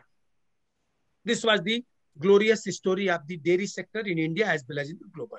Now come to that what what is the dynamics of the livestock population, dairy animal population in the last hundred years, centuries. So global dairy animals change over a century. This is the global scenario buffalo, cattle, goats, sheep, and this is the total. Means in 1890, total population of buffalo, cattle, sheep, goat was 1,216 millions, but now it has changed to 2,655. It has it has come to 3,871 million. So 2,655 million more livestock, more cattle, buffalo, sheep, goat has been increased has been added in this population. In terms of percentage, there was increase of 218%. If we see the picture of India, the cattle population has increased 25% from 1951 because we don't have data at present. So from 1951, 25% increase was in cattle, 153% increase was in buffalo, 21, 215% increase in goat, and total if we see about 84%.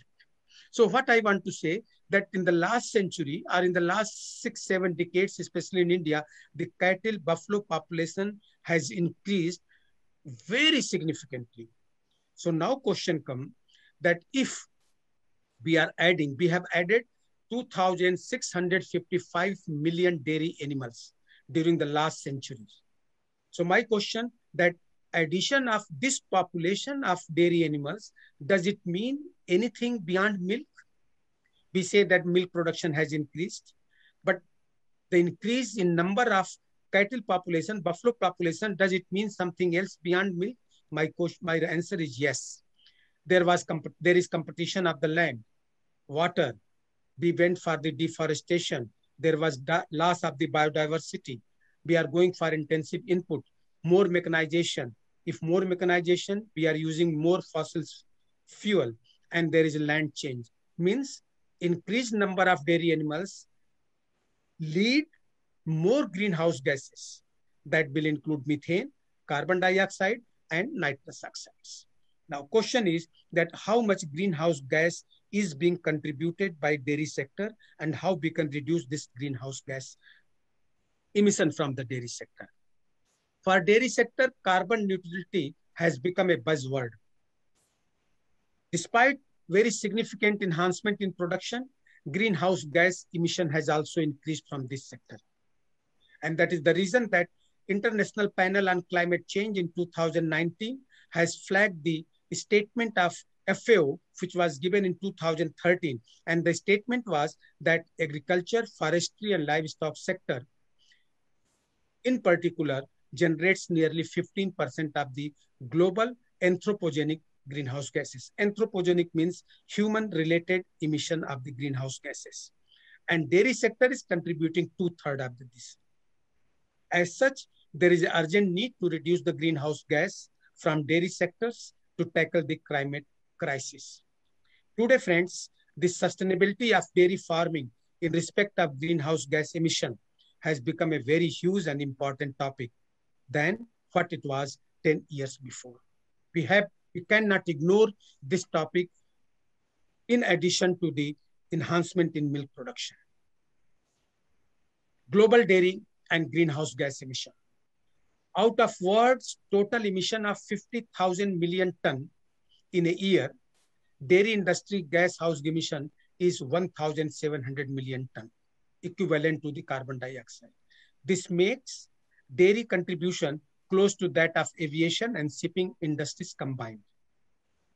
FAO calculated that between these decades from 2005 to 2015, the dairy industry's greenhouse gas emission has increased 18% as demand of milk has increased. Demand of milk has increased, so greenhouse gas emission has also increased. From where this greenhouse gas has increased, so total was 18% enhancement. Out of that, 9% came from the livestock share, that is the animal, animal share in CO2 emission. CO2 emission includes all equivalent to CO2, that is the green, that is the methane as well as nitrous oxide. 37% from livestock share in methane emission, and 65% share from the livestock uh, to nitrous oxide emission. This is the different sector greenhouse gas emission, which is equivalent to carbon dioxide, which is equivalent to the global. This is the global status. 24% of the total greenhouse gases is coming from agriculture, forestry, and other land uses. Dairy sector, livestock sector comes in this way. 6% from building, 14% from transportation, 21% from industry, 1% from energy, and electricity and other heat production process, it contributes 25% of the greenhouse gas emission. This is of global data. If we see the India picture, energy, because we are using more more uh, fossil fuel, so our uh, so our contribution from energy is 61 percent Industrial process, 8%. Less is industrialization, so less contribution from industrial process. Agriculture is contributing 28%. And land use changes is contributing 1%. Out of this 28%, which is coming from agricultural sector, in India, approximately about 50% is coming from livestock sector. As far as CO2 is concerned, India contributes 7% of global CO2 emission next to the China, which, are, which, uh, which is contributing 28%. More detail, what sectors of agriculture contribute to greenhouse gas emission in India? Rice is contributing 23%, rice cultivation. Manure management, poor manure management, poor manure management contributing 5%. Emission from soil, 12% enteric fermentation from livestock, from dairy animals, means the methane gas, nitrous oxide gas, carbon dioxide gas, greenhouse gases coming from the rumen through enteric fermentation is 59%. I'm sorry, this 5 should be here. It is from 59%. And 1% is from crop residue. If we see the total greenhouse gases, which is coming from man-made procedure, so livestock contribute about 18% of global man-made greenhouse gas emission. Now coming to the specific that what is the carbon footprint of per kg of milk production in different animals in India. This is our data. This I'm I'm trying to uh, explain that 1.21 kg of carbon dioxide are equivalent methane gas and nitrous oxide are produced if we are producing 1 kg of milk yield from crossbred. From indigenous, carbon footprint is 2.96. From buffalo, 1.85. And from goat, it is 2.5. Carbon footprint per kg milk, energy and protein. Per kg of milk protein and per kg of milk energy. We even in this parameter also, indigenous cow, either in terms of per kg of milk energy or in terms of per kg of milk protein, indigenous cow is emitting more carbon dioxide or equivalent methane gas or nitrous oxides. Our crossbred is emitting less. This is the one story. I will come to another one. Carbon footprint of milk production, it be summarized in ruminants or in dairy animals, 8 to 12% of total dietary energy is lost in carbon emission. That is the greenhouse gas emission during enteric fermentation.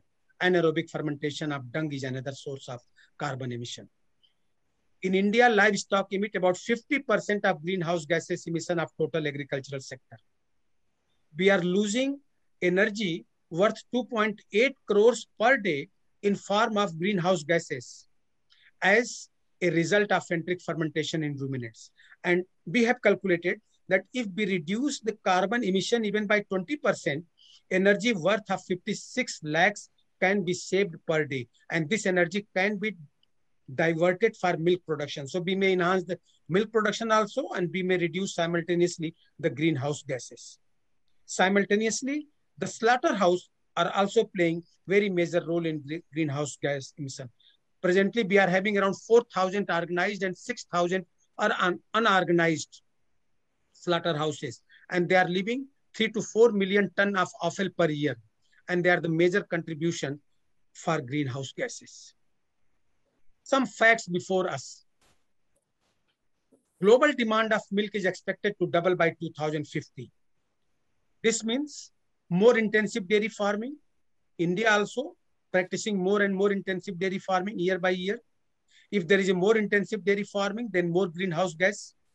Developed and developing countries will produce an additional 9% and 33% of the milk output, respectively, by 2027. Greenhouse gas expended in India from 1.48 billion tons of carbon equivalent in 2000 to 2.84 billion ton in 2016. And it is projected that by 2020, it must have crossed to 3 billion tons. Growing by approximately 3% annually from 2020, carbon equivalent greenhouse gases emission is estimated to reach 3.7 billion by 2030. Methane is the largest contributor to total greenhouse gases from the dairy sector, accounting 50% of total emission. So whatever greenhouse gas is coming from the dairy sector, 50% is coming from um, in form of methane, nitrous oxide in form of 30, uh, that is 30 to 40%, and rest of emission is in the carbon dioxide. In some countries, really greenhouse gas emission from dairy sector is very high as compared to other sectors. This is the one part. But because of the greenhouse gas emission from dairy sector, there is climate change. But dairy sector is contributor as well as sufferer also for the climate change. There is also adverse effect of greenhouse gas, climate change and thermal stress on livestock health and production. This is our work at NDRI. The estimated loss due to heat stress is about 2% of the total production. And it will be around more than 15 million ton by 2050. The maximum economic loss will be in Uttar Pradesh, followed by Tamil Nadu, Rajasthan, and West Bengal. We found that the decline in milk yield is less in mid, mid lactation period than the early and late lactation period. During climate change, there will be biodiversity loss also what happens if there is a rise in temperature because of climate change, because of greenhouse gases. We studied that gamete quality will be poor. There will be change, there will be in there will be change in the quality of the gamete, either of male or of female. There will be more incidence of silent stress, silent stress. The duration of stress will be short. There will be decline in reproductive efficiency because there will be dysynchronization of endocrine activity between pineal, pineal hypothalamo, hypothalamo-gonadal axis. We all know that pineal gland and hypothalamus gland, they are controlling the stress. We also found that because of the climate change, because of the greenhouse gases, there will be more incidence of mastitis, there will be more incidence of FMD, more incidence of tick-borne diseases, filaria, babesia, trypanosomiasis, etc. So they are the contributor as well as they are the sufferer also coming to the last part, what can be done? Carbon neutral dairying is an option. This is the only option. Another question comes that carbon neutral dairying, is it achieve, achievable? Can we achieve it? My reply is yes. How we can achieve? By following practices that can reduce greenhouse gas emission. These are the following best practices which can be used to reduce the greenhouse gases and we can say that we are heading towards carbon neutrality. Whatever animal we are having, either our local animal, local breeds or crossbred, efficient management of dairy animals. We have to manage the herd health. We have to provide the proper breeding so that production is increased. Selection of the animal will play the key role. We have to go for genomic selection. We have to select the animal which are consuming less feed fodder and producing more milk. So input use efficient animal is the need of the day, either animal or breed, which will help in reducing the enteric greenhouse gas production. As has been said by Chairman NDDB, ration balancing. We should balance our ration depending upon the nutrient available locally. Integrated dairy farming, which was being followed earlier, is now being seen that it is an option, which is a mixed with crop. So crop livestock integrated farming system. We have to go for best management of our dung. animal dung, best management. Pasture has to be improved. We have to grow the fiber, low fiber plant or low fiber grasses. Enhancing use of solar thermal power for dairy, dairy, uh, dairy farming, maybe for production, maybe for milking, maybe for collection, maybe for chilling, maybe for other processing. So we have to reduce the fossil fuel, uh, fossil uh, oil, and we have to go for thermal, solar thermal power in the dairy sector. Few points which will lead us to carbon neutral dairy. Productivity enhancement, how we can enhance the productivity? Friends, a policy is required, a policy need to be evolved to reduce the number of low producing animal in this country. Sooner or later, we have to calculate the total carrying capacity of this land in terms of number of the animals. In 1951, livestock population was half of the today's population, but the area under fodder cultivation was the same. Today, livestock population has just doubled, but area under fodder cultivation has not increased. So we have to calculate that how many animals we can sustain. Second aspect, improve the productivity of low producing animal. As I said, that our indigenous animal are low producing, they are future of this country. We have to improve their productivity by genetic improvement, by advanced reproductive technology, maybe IVF, maybe OPU, strategic feeding, balance rationing will be one thing. Controlling the production diseases, mastitis, milk fever, and other diseases. So these are the these are the procedures by which we can enhance the productivity of the animal. Coming to the selection of the appropriate dairy animals, that is the priority, which animal we should go for dairy. Now, we have identified the genes which are responsible for food intake, which are responsible for skin color, responsible for production of more carbon dioxide gas or other equivalent greenhouse gases. We have identified the genes. So future is that we should go for genomic selection of livestock for higher production and lesser emission of greenhouse gases. One example I'm giving that our target will be to promote the climate smart dairy breeds. Sahiwal and Tharparkar is our indigenous breed. Crossbred animal, that is the Karan Fries, Karan Swiss, our crossbred animal, cross with um, Holstein Friesian and Swiss. This is the blood flow, dorsal, blood flow in the dorsal side, blood flow in the abdominal side, blood flow in the ear. This is the Sahiwal, Tharparkar, and Karan Fries data. What I conclude that Sahiwal, Tharparkar have higher blood flow on dorsal part than Karan Fries. Higher blood flow in Sahiwal and Tharparkar that we call as Zebu cattle facilitate better sweating rate, making them more adaptive to climate change, to hot environment. Friends, on one side, I said that carbon footprint was higher in Sahiwal and Tharparkar, but this data says that yes, despite higher carbon footprint, they are more adaptable, they are more sustainable for the climate change.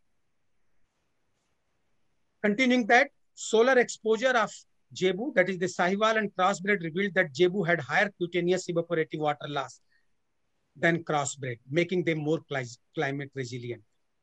Crossbred had respiratory evaporative cooling and increase the respiration rate. So they are increasing the respiration rate. If respiration rate is increased, so they become more susceptible to the climate change. More energy they will be using for increased respiration. As such, ability of Zebu cattle to increase evaporative cooling without increasing their respiratory frequency is an important index, making them heat all. Now you can see that this is the Zebu. We can see that a uniform temperature on whole body. And this is the crossbred. You can see that temperature is not uniform. It is very high temperature on some part and some part it is very low. So Tharparkar is more adapted to higher temperature than Karan Fries. Tharparkar maintain the same temperature all over body, which is not the case of crossbred. That's why indigenous animal are more adaptive. Now coming to the greenhouse gas emission equivalent to the carbon dioxide are equivalent to the carbon in different breeds of cattle and their dung. There is more greenhouse gas production in crossbred animal, Karan Fries, as compared to Zebu cattle, that is the Tharparkar and Sahiwal. Not only that, if we talk about the greenhouse gas emission from the dung, it is higher in crossbred, that is the 96.8 milligram per kg of dung than Zebu, that is the 48.3 milligram per kg of the dung.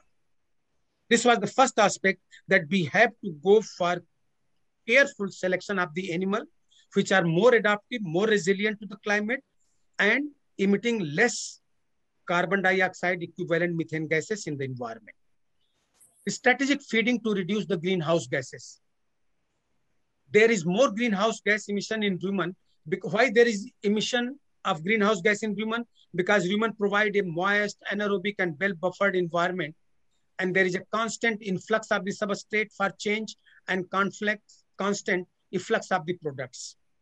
Rumen microflora consist all microorganisms, bacteria, bacteriophages, protozoa, fungi, and methanogens. Archaea, which are responsible for greenhouse gas emission. Increasing the bioavailability of nutrients. So what we can do, if there is a more methane gas emission, more carbon dioxide emission, more nitrous oxide emission from the rumen, then what we can do, we can increase the bioavailability of nutrients using enrichment technology of the feed and fodder and using the rumen bypass technology. So we can use the uh, nutrient which passes the rumen and it is bioavailable to the animal for production of the milk. Improving the quality of fibrous crop residue, I will come later that how we can improve. Densified feed block technology, ration balancing. So these are the technology which we can use for reducing the greenhouse gas emission in rumen, which is a big house for greenhouse gas emission because all plus point, all favorable conditions are available in rumen. How we can reduce the greenhouse gases? Through manipulating the diet. We all know, friends, that 70% cost of the livestock production management system goes to the feed and fodder. And we have seen that high protein diet, if being provided, then the formation of green greenhouse gas is significantly reduced. While with high fiber content, there is a significant increase in greenhouse gas in, um, release. Replacing plant fiber with starch is good. Why? Because it decreases the ruminal pH. If ruminal pH is decreased, then the microbial population will be modified because this microbial population has poor tolerance in poor tolerance in acidic pH, more particularly protozoa and cellulolytic bacteria. They cannot tolerate the low, ruminal pH. If they will die, then ultimately hydrogen production will be reduced. If hydrogen production is reduced, then there will be less methane gas formation in the rumen.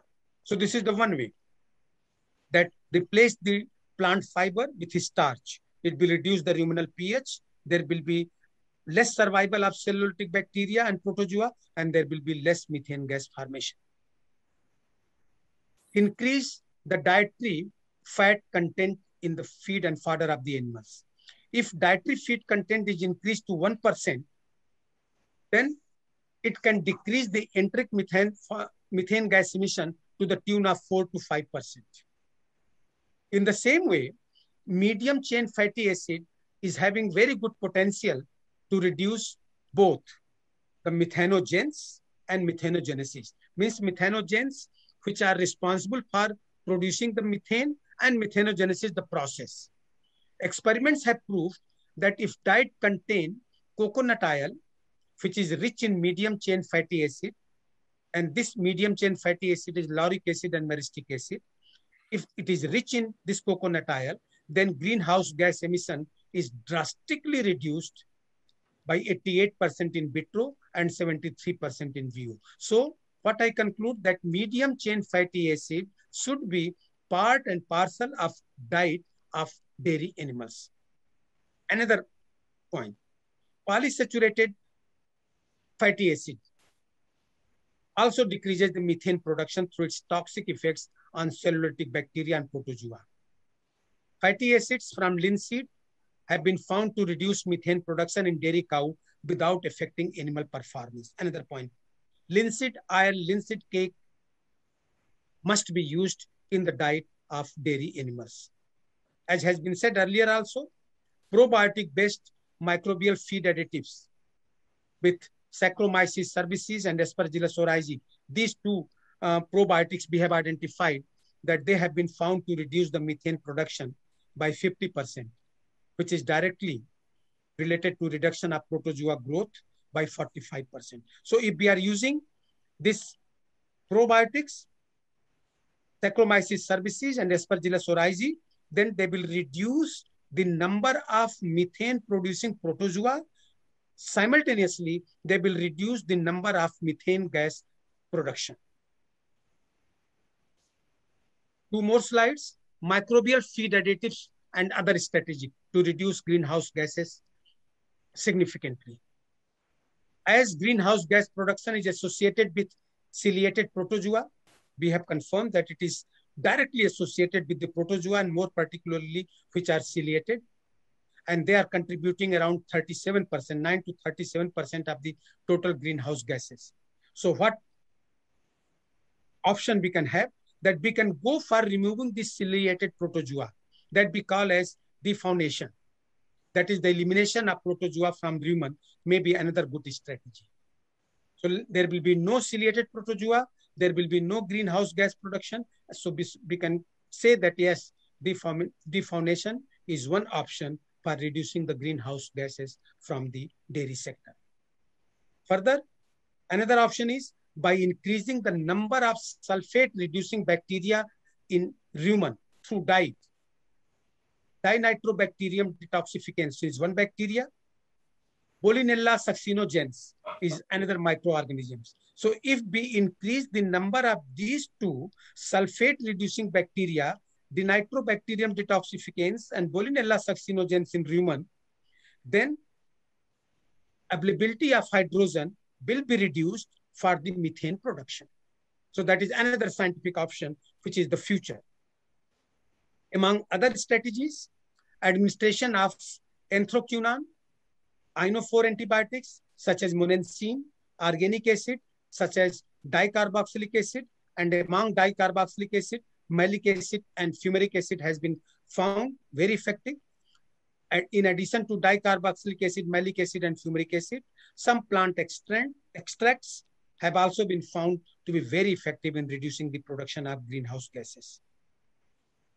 Last option, what we can say, that few biotechnological approaches, such as development of vaccine against selected methanogens, maybe ciliated protozoa, maybe microbes, use of bacteriophages and bacteriocins are newer approaches. So these are the newer scientific approaches for reducing the greenhouse gases from the dairy sector.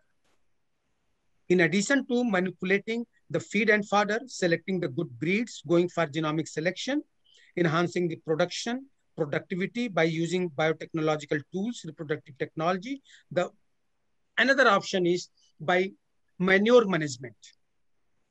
Proper waste management to mitigate or to reduce the methane gas emission is most important. Livestock based, especially dung, is the major source of greenhouse gas. Not only emission of greenhouse gas, but also of pollution, pathogens, and odor. Farm-based are having rich source of energy and fertilizer elements which can be used for the agriculture. We have calculated um, that the animal waste, dairy waste, has so much nutrient that it can go for at least 20% of the total agricultural farming organic. Most mitigation practices involves shortening the storage duration of the dung, appropriate timing of application of the manure, and use of anaerobic digesters. I'm talking about the manure management. We found that covering of ponds, tanks, and lagoons also reduces the emission of greenhouse gases. Integrated livestock production, as was our practices earlier, is now seen a good practice. If we are following this integrated livestock production, then it has advantage of water harvesting, in situ resource management, there will be redu- reduction in greenhouse gas emission, reduction in soil loss, sustaining soil microbes, contingency during failure of funds, and then contingency to the farmers during failure of funds. Here I would like to say that 50% of our soil microbes are not working at present. So livestock manure management as fertilizer is need of the day. Our soil microbiota is not functioning. There is nutrient deficiency either in terms of NPK or other nutrients. How we can conclude this? Dairy animals are both a victims as well as cause of carbon emission.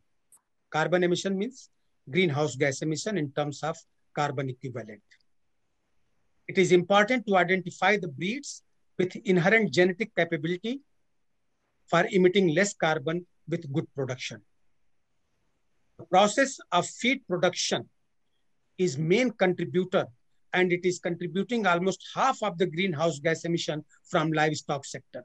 So technology for feed production has to be re-looked, revisit. Enteric fermentation is the largest greenhouse gas contributor in the animal production stage. So proper management of waste is also need of the day. If animal number continue to increase and feeding practices is not changed, global emissions because of dairy production will continue to increase. So very clear conclusion that if animal number continue to increase and we are not changing our feeding practices, then be sure that dairy will continue to contribute the greenhouse gases. An integrated approach of crop livestock agri-food production system would improve the resources use efficiency. Uncontrolled and poorly regulated growth of intensive dairy production unit at peri-urban area need to be regulated. In Delhi, if you come in peri-urban area, you will find this problem. Carbon neutral and climate smart dairy is future. And if not taken care, dairying will negatively impact the environment, especially in arid and semi-arid region. And I tell you that our majority of the dairy animals, milk producing animal are in arid and semi-arid region. So the call of the day is that we have to adopt, we have to practice a dairy which should lead, which should head the carbon neutral dairy towards the carbon neutrality, climate smart, climate positive. Means how much carbon, how much greenhouse gases is being released by the dairy sector, it should be removed also by one or other practices being followed in livestock sector or in dairy sector. Thank you very much for your patience sharing. Thank you very much, friends. Thank you. I will. Thank you very much, sir, for your very insightful presentation. As usual, uh, I had a privilege to hear you repeatedly, and uh, I feel that you are one of the best orators and good presenter. So uh, there are no, so many lessons from these presentations. Uh, I now uh, invite the chairman of the session, Sri to take question answers. Uh, we received the comments from uh, Judith uh, in the chat box that the GHG emission from dairy sector is reduced to 11%. That uh, uh, we noted. And then Meenesh Bhai uh, will take the questions from audience. I am happy that our panelists, Dr. Ekar Singh and Dr. Bharti from ANNA and Hyderabad have already joined. And I can see Dr. Peter Osterberg from Finland. Uh, welcome all of you. So, thank you, thank you. Uh, I think thank you all the speakers. I think it was very, very insightful and uh, apt for the today's discussion. So may I now invite questions? I think uh, both online, offline. So you can please indicate the uh, name of the speaker also to whom the question is uh, raised. Good evening, sir. Uh, my question is to any policy. Introduce also. Yeah, I'm, I'm Gokul. I'm from uh, Amul Dairy Anand. I'm working in QA and R&D department. Uh, my question is, right now the milk per capita consumption has gone up to nearly 400 grams. We're talking about much of production, productivity.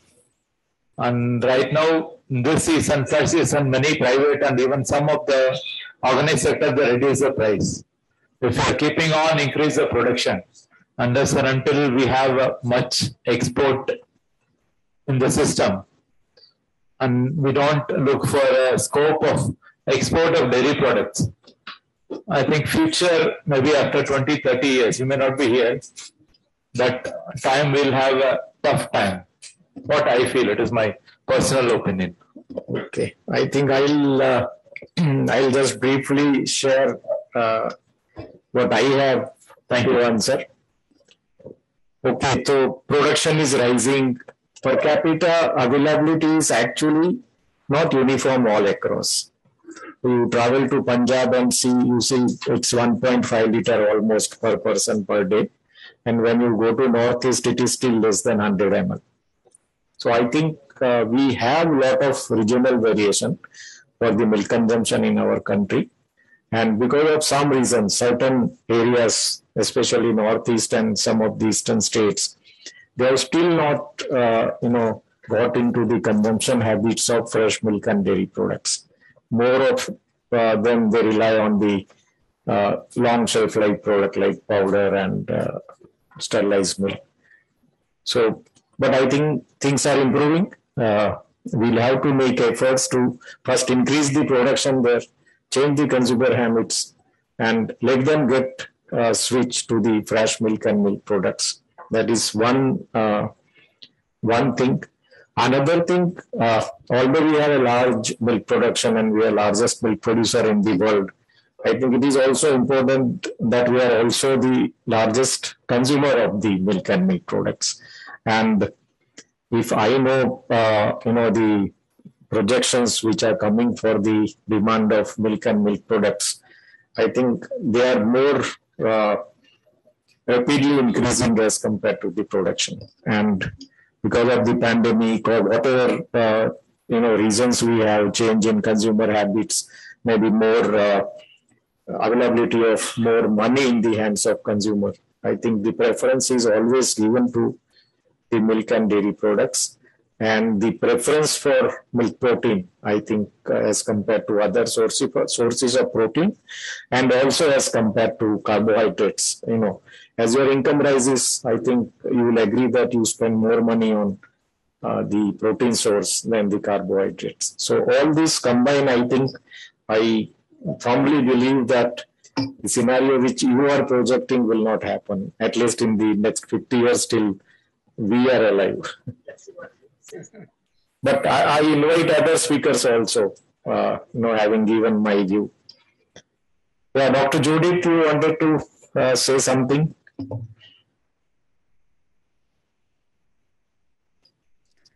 No, I didn't have a hand up. if you want me to say something, I can.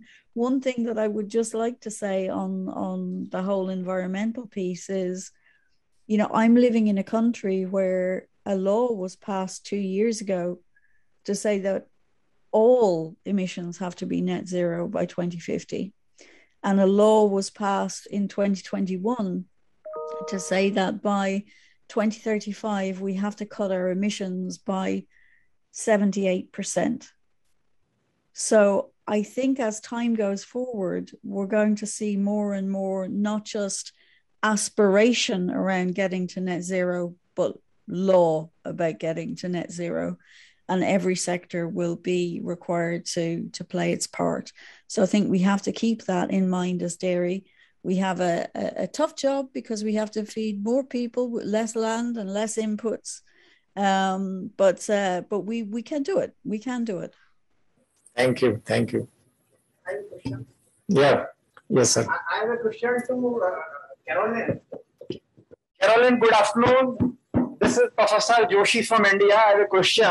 You know, you you cover two most important issues about the SDG. First and second goals of SDG remains, you know, uh, uh, you know, elevation of poverty and zero hunger. Hunger.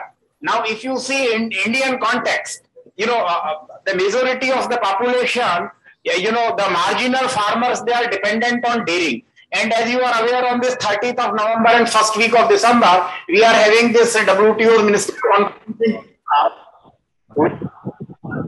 WTO is the WTO you know, the, the food security to the people. And WTO, the is free and fair trade. Now, let me tell you, you know, as you are aware that 24% of the poor income is 1.9 yeah. available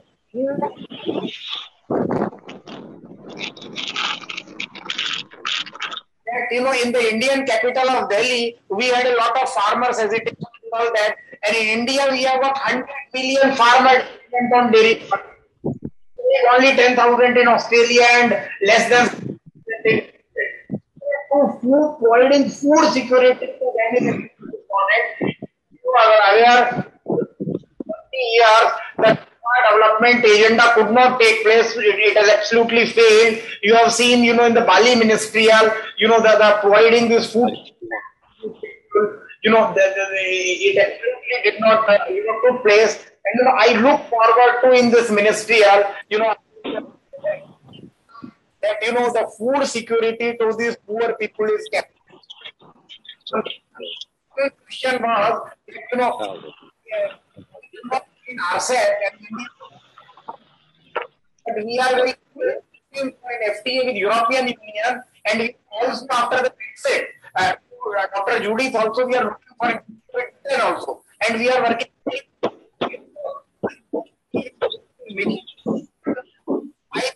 that dairy and the issues related to TBT and SPS, you know, they are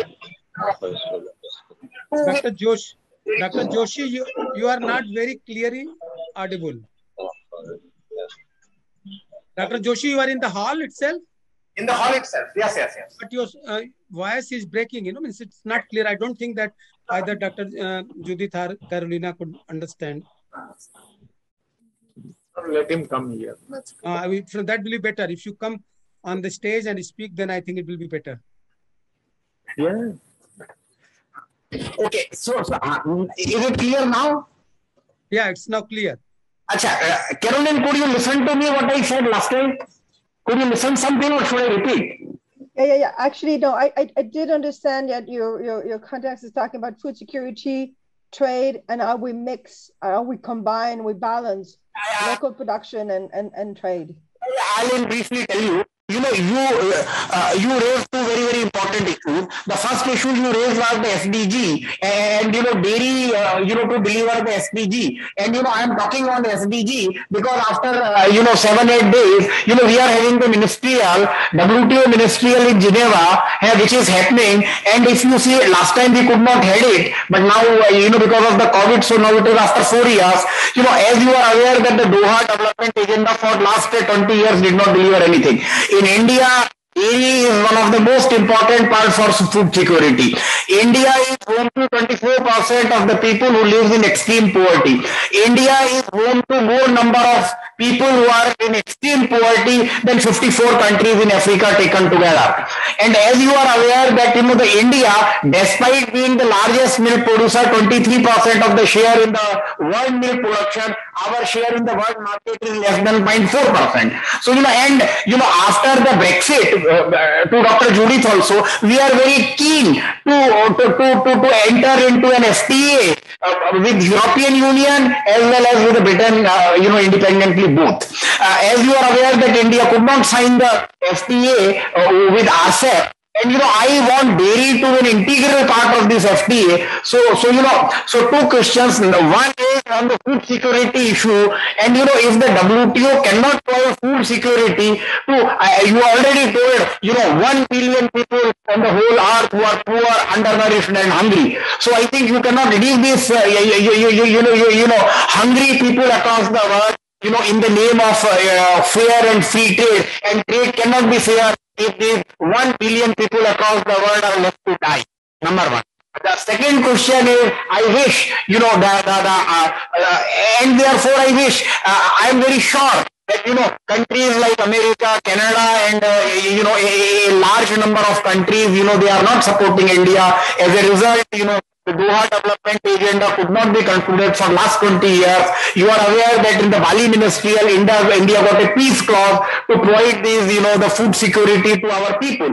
And, you know, had we not done this food security to our people, you know, in India, you could have seen much more number of deaths by hunger than the COVID, but I think you should compliment us the way we have managed, you know, the food security and the people in this country. And herein, I would wish, you know, the, the, the, the, the two things, help one is to provide food security, you know, and, and allow India for uh, buying the food stuff, uh, including the dairy product at the at the subsidized prices because of food security and dealing with the hunger. And second thing is uh, uh, the peace clause. You know, so far we had a peace clause which, uh, you know, in 2013. And from peace, you know, we were, it was only for four years. We wanted a permanent solution for that. And we fail now, you know, in the first week of December, then I think we are missing the bus and probably, you know, uh, take me granted I've written for the Financial Times and all other newspapers as well. You know, the credibility of the WTO is going to be at stake. Second, my, I think the question is, that you know let's uh, dr judith find out a mutual way wherein dairy also becomes a part because you know dairy is an important part which is coming in our way. You, you, you know in signing a free trade agreement both with uk and the european union. And and you know we are very keen to sign both with uk and european union because you know there are other products which we have identified you know textile is there automobile is there where europe can do so you know in case in dairy we we, make some uh, you know adjustment so and dairy becomes a part of this. The country which is producing the largest milk on the earth, 200 uh, you know billion metric tons of milk you know with our export share you know less than 0.38 percent so you know we also gain something in the market and our poor farmers also get their livelihood which is required thank you so much uh, so so uh, you know uh, uh, i would like to uh, you know have your inputs on this thank you so much Thank you so much, Dr. Georgie. Uh, and we had those discussions in the past. So you know my personal view on the topic. Uh, but you also know that IDF actually does not work on, on international trade uh, and on the free trade agreement. So uh, on, on, that topic, I will refrain from any comment. But I think it is important that, that what you just mentioned about the importance of food security. Um, and I would go a little bit a step forward. We talk also about nutrition security. It's not just about providing food; it's about providing nutritious food, uh, which is different, as just mentioned earlier. Uh, the quality of the food is also important, and the safety of the food is also important. And we saw it during the pandemic. Um, and, and, and globally, I think we've seen a bit more of buying local, uh, and we've seen that during the pandemic. It is a reaction, I think, to a reality of wanting to develop and support a closer food supply, while at the same time maintaining that safety net of international trade that can balance when needed and to ensure that everybody can can and have access to food. So I think on that sense, there's a place for both. Uh, and India's policy is very specific, and in the trade negotiation is very specific. And I don't believe it's my place to to make a statement on that. But one thing for sure, and you're right, the UN SDGs are super clear, and the objective is zero hunger, uh, coupled with reduction of poverty.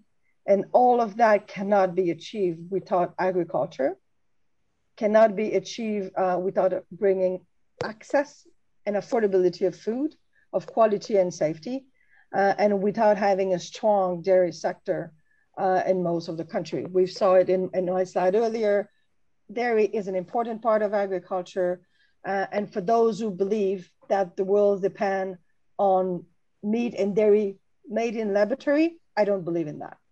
So they can they can think whatever they want, but honestly, I don't believe that the billion of dairy farmers in India will disappear. On the contrary, we not we need more. We need more farmers that can uh, be prosper uh, and, and grow and develop and have better practices, so they can develop and have their family help their family, get children go to school. So for the livelihood, for the nutrition aspect, dairy is here to stay.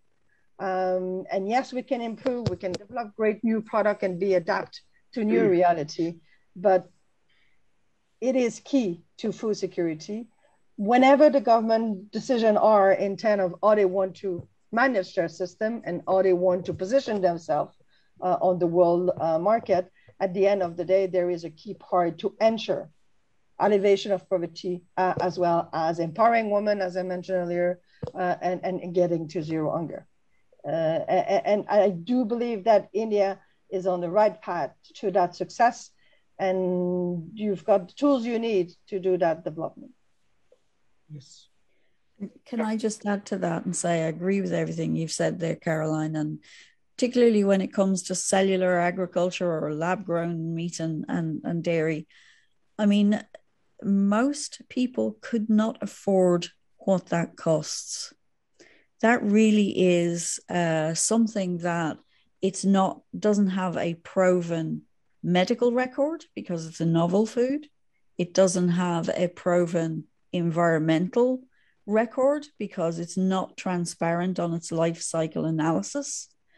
And it would be very difficult for anybody to legitimately say that cellular agriculture is better than conventional agriculture. So I think, you know, that the, as Caroline said, the, the farmers in, in India will, will still be farming.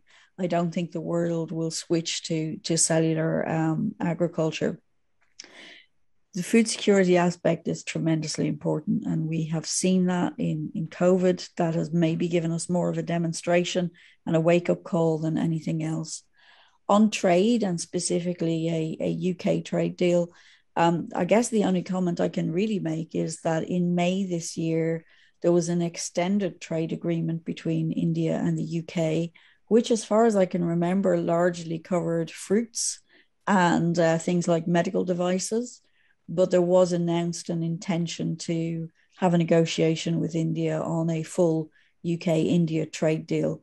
But I can tell you that the government here, when it's negotiating trade deals, keeps its card very close to its chest until they have an agreement in principle. So I'm not sure what the discussion is uh, at the moment in terms of what will be in that deal.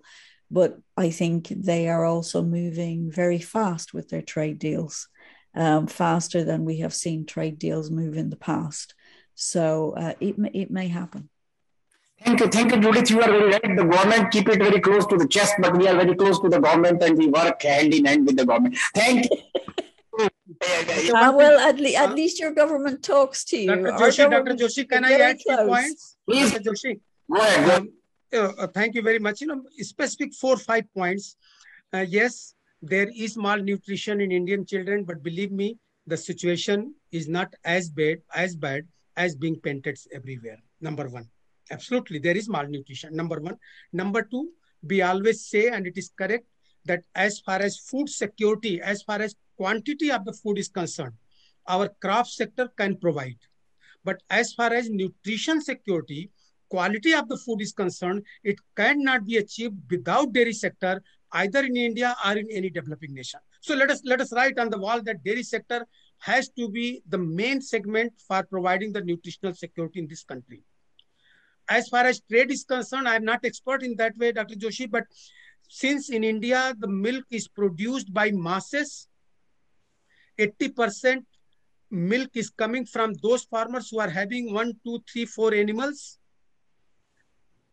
under compulsion, these milk produced by farmers are there for nutritional security also, then I will be the first person to say that we should not sign free trade agreement at least for dairy products with New Zealand, with Australia. Because as I said, that surplus of milk, milk products are just on the seashore. So number number three, nutritional security. I compliment Dr. Uh, Judith to you. Uh, wonderful. Five points I will add um, because you know I delivered Dr. Kurien Memorial Lecture in NDRI, so I worked several months, looked all the literatures, and I found most important nutritional attributes of the milk. That milk is having a short chain fatty acid, butyric acid, which is not present in any other food. And this butyric acid helps in the multiplication of nerve cell, neuron. And that is the reason that if child is devoid with the milk during childhood, especially during initial 1000 day period, that is nine months in mother uterus and two months, two years after birth, the brain development will be poor in uh, children. And last point, um, uh, Dr. Judith, you, uh, you, might be knowing, but I would like to emphasize to my participants that milk fat globules, membrane. Milk fat globule membrane is the best nutraceuticals for nerve development in the children. It is composed of so many things. Milk, milk fat globules membrane is it is uh, it utilized for the formation of the phosphatidylcholine, lecithin. all are responsible for the nerve development. So, quality of the food for the growth, for the development of CNS, of nervous system, of GIT, especially for the GIT development also, I think milk should be an integral part of the food for initial 1000 days. Let us carry a message that the nutrition of a child during initial 1000 days, which include nine months in mother's uterus and two years after birth, is most important nutrition for his or her whole life.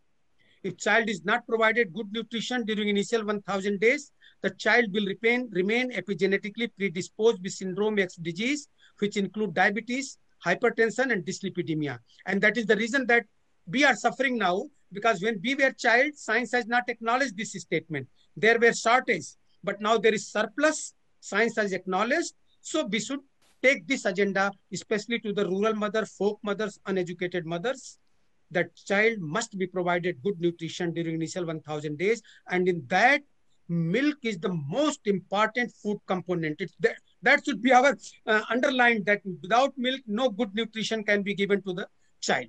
This is my message, Dr. Joshi. Trade, you are experts. You can give more comments on that. but I have a very little point and I am absolutely with Caroline and Judith. I don't want Indian uh, dairy sector to be protected and uh, this thing. I want them to face the competition. I want it to integrate with the international markets. You know, only if it has competition with the international market, then only Indian trade will improve. improve. Otherwise, Indian cooperative sector has absolutely no incentive to go abroad. They, they, want to protect the complete, uh, you know, everything in terms of quality.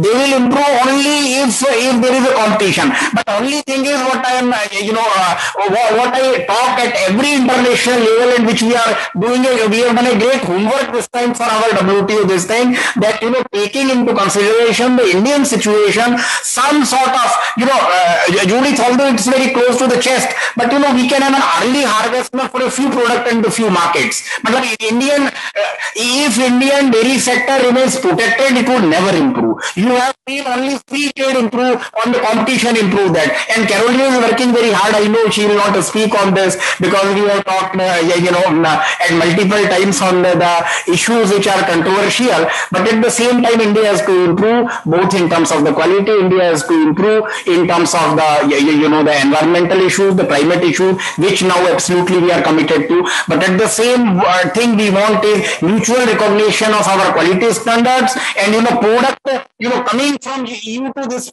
this place and product to India from going to this place. So we need to find a balance and I'm very sure that we are negotiating this. Uh, I wish that you know we get a help from you. Thank you so much.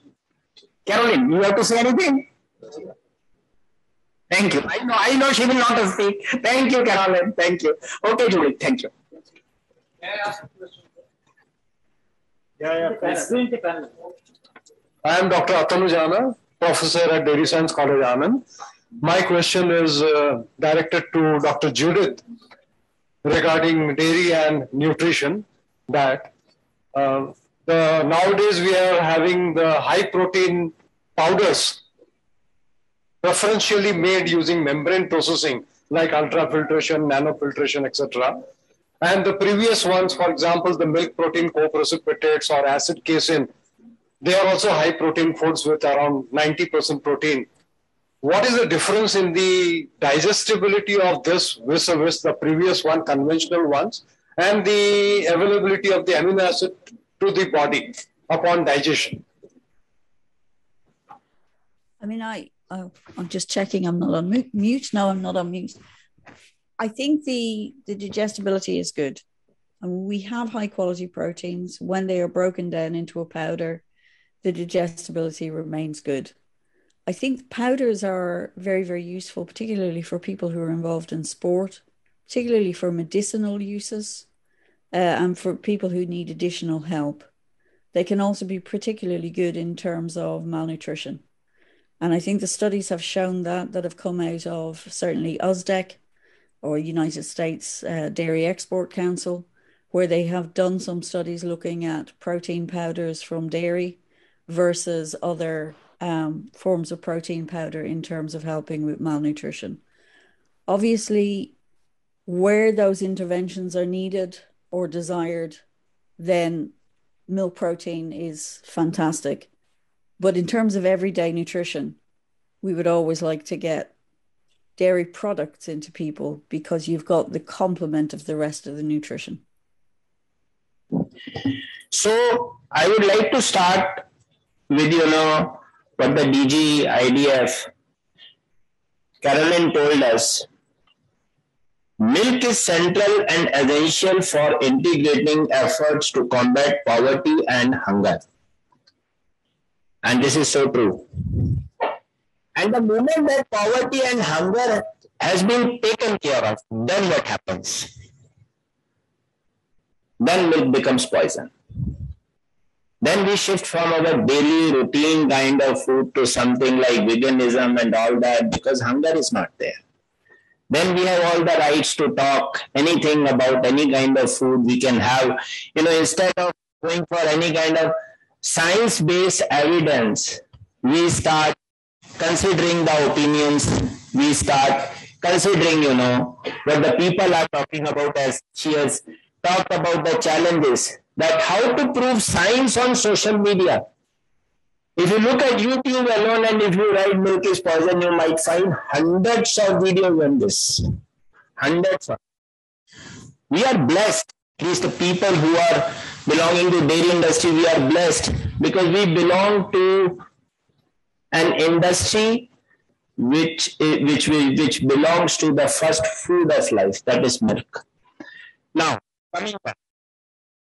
Today we are going to look at what is the consumer's perspective of food.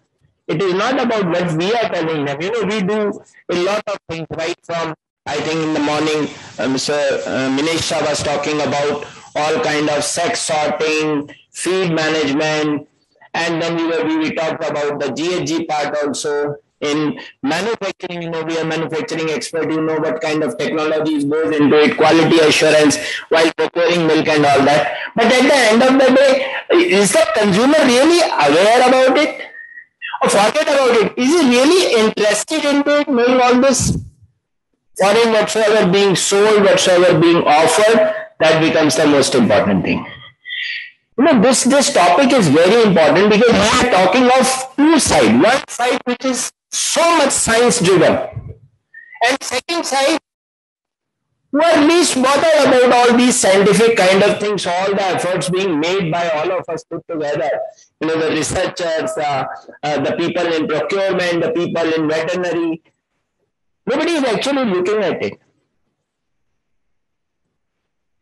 A monkey took millions of a year to become a human being that the.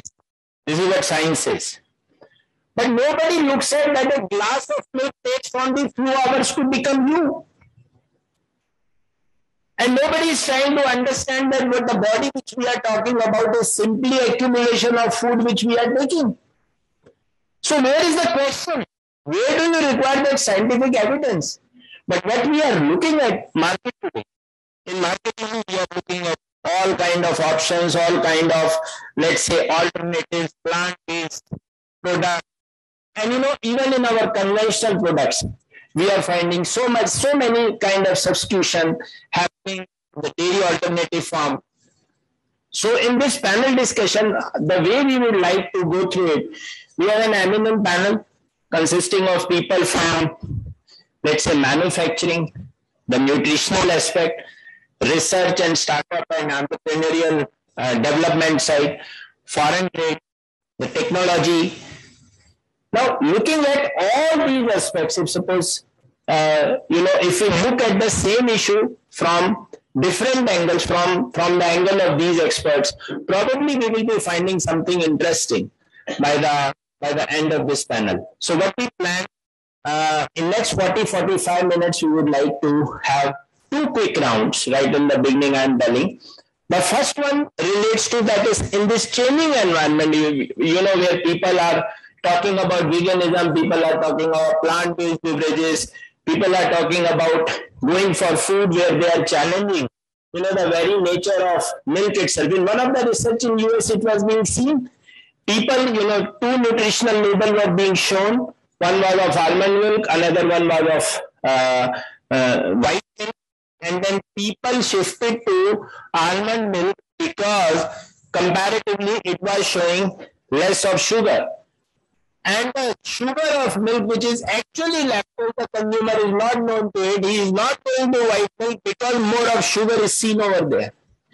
Now you see, this is the state of consumer. Is it, is it really worth pushing yourself so much for this consumer who is actually least bothered about all these things? So I think in the wake of all these points put together, let's try to learn from our uh, panelists on this. So maybe uh, we can start with uh, Dr. Parekh. Just in the first round, a quick two, three uh, minute kind of bite on how do you look at this changing, evolving consumer? And particularly, I would say I would like to add one more point over here. In post-pandemic time, I think in all of my life, I have not seen people discussing food so much. In all of my life, I have not seen people asking me question about the food or telling me about food. And you know the kind of things which are coming, and I'll, I'll, I'll, share some uh, good personal experience uh, very shortly. So, Dr. Parekh, how do you look at this evolving consumer and how do you see that to this consumer, how to communicate about, let's say, the science behind the dairy? So, first of all, your quick comment on uh, how do you see this evolving consumer? Yeah. Yeah, basically, whatever we are hearing about the vegan foods or other analogs foods, they are making more a marketing side of the things, you know, basically more bombardment, advertisements. So we have to actually really educate more consumers about the value of the milk and the nutritional value, functional requirements. Like you see, the you know, idea of our Julia has also very much explained about the nutritional aspects of the milk. So this is very much important. Whatever the PETA group also, you know, NGO, they're also trying to say this is a vegan food is better or plant-based foods are better than animal foods. Mm. But basically, if you see that our uh, lifestyle, our, we are grown up in such a way where the animals are taken very much care of. So we call as a mother, you know, sort of the cows or amrit milk. So basically, we have to make the review of the nutritional aspects of the milk, which is uh, to the consumers. There are so much studies has been done. There is a lot of benefits are there. Milk is a complete, completely food, and which has got a lot of you know, advantages in terms of curing of some of the disease like diabetes or you know lifestyle everything. So basically, we have to educate the consumer, make more uh, bombardment of advertisement promotion to see that uh, consumers don't get you know sort of a scare or go to the other food because they are not a complete food basically. They are all fabricated foods with the chemicals or some of the other additives. And they are very expensive. If you see the milk value wise also, nutritional compare, the value of the milk is under value. Yeah. When you compare with any other product, air product, product or other things. So I think properly education, properly canvassing the nutri- about the nutritional aspects is very much important because a lot of other, other I mean, reports are coming, milk is sometimes called the black uh, or something like that. So we have to educate the people and the value of the milk has got a lot of, and we have since our two, three webinar, we have done it to explain the value of the milk is very much important. But subject to the quality of the milk should be good. You see, basically, healthy milk have a lot of uh, nutritional benefits. Thank you. So I think it's a, it's a very good direction uh, which you have given to us that nutrition is something you know which need to be communicated and as uh, was also mentioning about having some some platform in, in the IDF side you know where communicating creating infographics and talking about in school milk program about all these kind of things and and I was also wondering you know Dr. Srivastava was mentioning that uh, while preparing for one of the Dr. Kurien's memorial lecture and when he was going in that then he found out that milk has got those short chain fatty acids that is butyric, which is very good for uh, you know, uh, uh, from the perspective of development of neurons and, and for this mental faculty uh, or development of the kid. How important is this particular thing, you know? And, and, you know, the people belonging to the science side, that is the scientists themselves are taking so much of pain going into depth and understanding it But how to communicate it? I think there is a there is a need to communicate the right thing to the consumer. Right now, the thing is that whatever is being served to him, you know, somebody has rightly said that whatever controls our mind controls our life. And if we look at on an average today's data of three hours consumption, you know, three hours, full three hours kind of consumption of this uh, blue screen product which is there in our hand every day you can imagine who is controlling your mind and who is controlling your life. So I think maybe we need to have some real good structure of communicating right to the consumer. Yes, uh, Dr. Joshi, please, I would like to have your point of view. Thank you so much. I think you have covered. Hello? Okay, thank you so much. I think you have covered the point which is extremely important uh, because uh, you know the entire concept of uh, plant-based, uh, you know, the plant-based drinks. You know, I will not call it milk. Under no circumstance, it's milk. So these are the plant-based drinks, and you know there is an uh, you know what I think. I will not mince my word, which I talked at uh, IDF as well. multiple times that you know it's a it's a it's a it's a commercial complaint to malign the milk. And scientists have, uh, you know, no role to play here. The whole role is coming from the promotional strategies. Promotion is, it's all the marketing role. Scientists can give you the proof that this is, but the thing comes in communication. Now, who will communicate? You said that we have to communicate. Now, individual cannot communicate. Uh, you know, scientists cannot communicate. Institutes cannot communicate. So, what I wish is the dairy associations, say Indian Dairy Association, the State Dairy Association, the, the, the, dairy boards which promote the milk like milk boards or National Dairy Development Board, they should, you know, uh, do a, a plain campaign. You know, the campaign that you are looking for the plant-based uh, food we should do. And, you know, I, I have discussed uh, with uh, uh Dr. Caroline as well that you know even the IDF should do. And I ideally wish that all the dairy development boards from across the world should put part of the fund to IDF at their disposal so that we can have this campaign across the world. Now I'll give you, uh, you know, so as to increase. Now, the, if you see, if the 200 million metric ton of the fluid milk is consumed, the consumption of the soft drinks is almost two and a half times in the whole world uh, because the new generation is more convinced with that. When you were talking of sugar, you know, um, uh, the, the, scientists know more about the sugar, but I'm sure that the, the people do not know. I am not very sure whether you will be able to convince them that the soft drink contains 10.5% of sugar. If you take one glass of soft drink, you consume 6 to 8 teaspoons of sugar.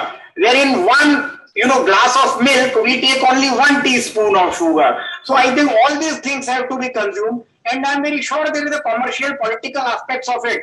That, you know, whether the mighty corporations, like the soft drink corporations, where there is a duopoly in the market, milk, there are multiple brands of the milk. But in, in the soft drink market in the whole world, there are two or three players across the world. So those mighty corporation, how will you? Soft drink is one. And then the second thing which is coming is, so these could be a substitute. This is the plant-based drink. So they say that, that you talked about, you know, almond almost everything.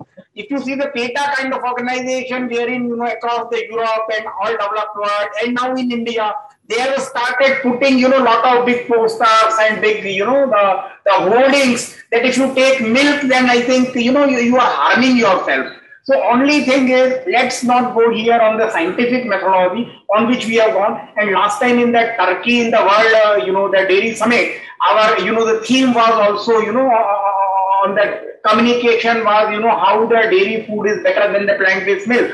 So I wish, and I wish that each one of those who are associated with the dairy industry should put up some funding, you know, and if you see who gains, so what we call is a generate marketing like in America, when the you know the, the, the, the consumption of milk was falling, they had that you know drink milk campaign. So take more milk. Have you taken milk? They use various you know the, the, the film stars to take milk. So you know the, the got milk campaign was a you know uh, which was I think advertisingly extremely bright campaign that they had.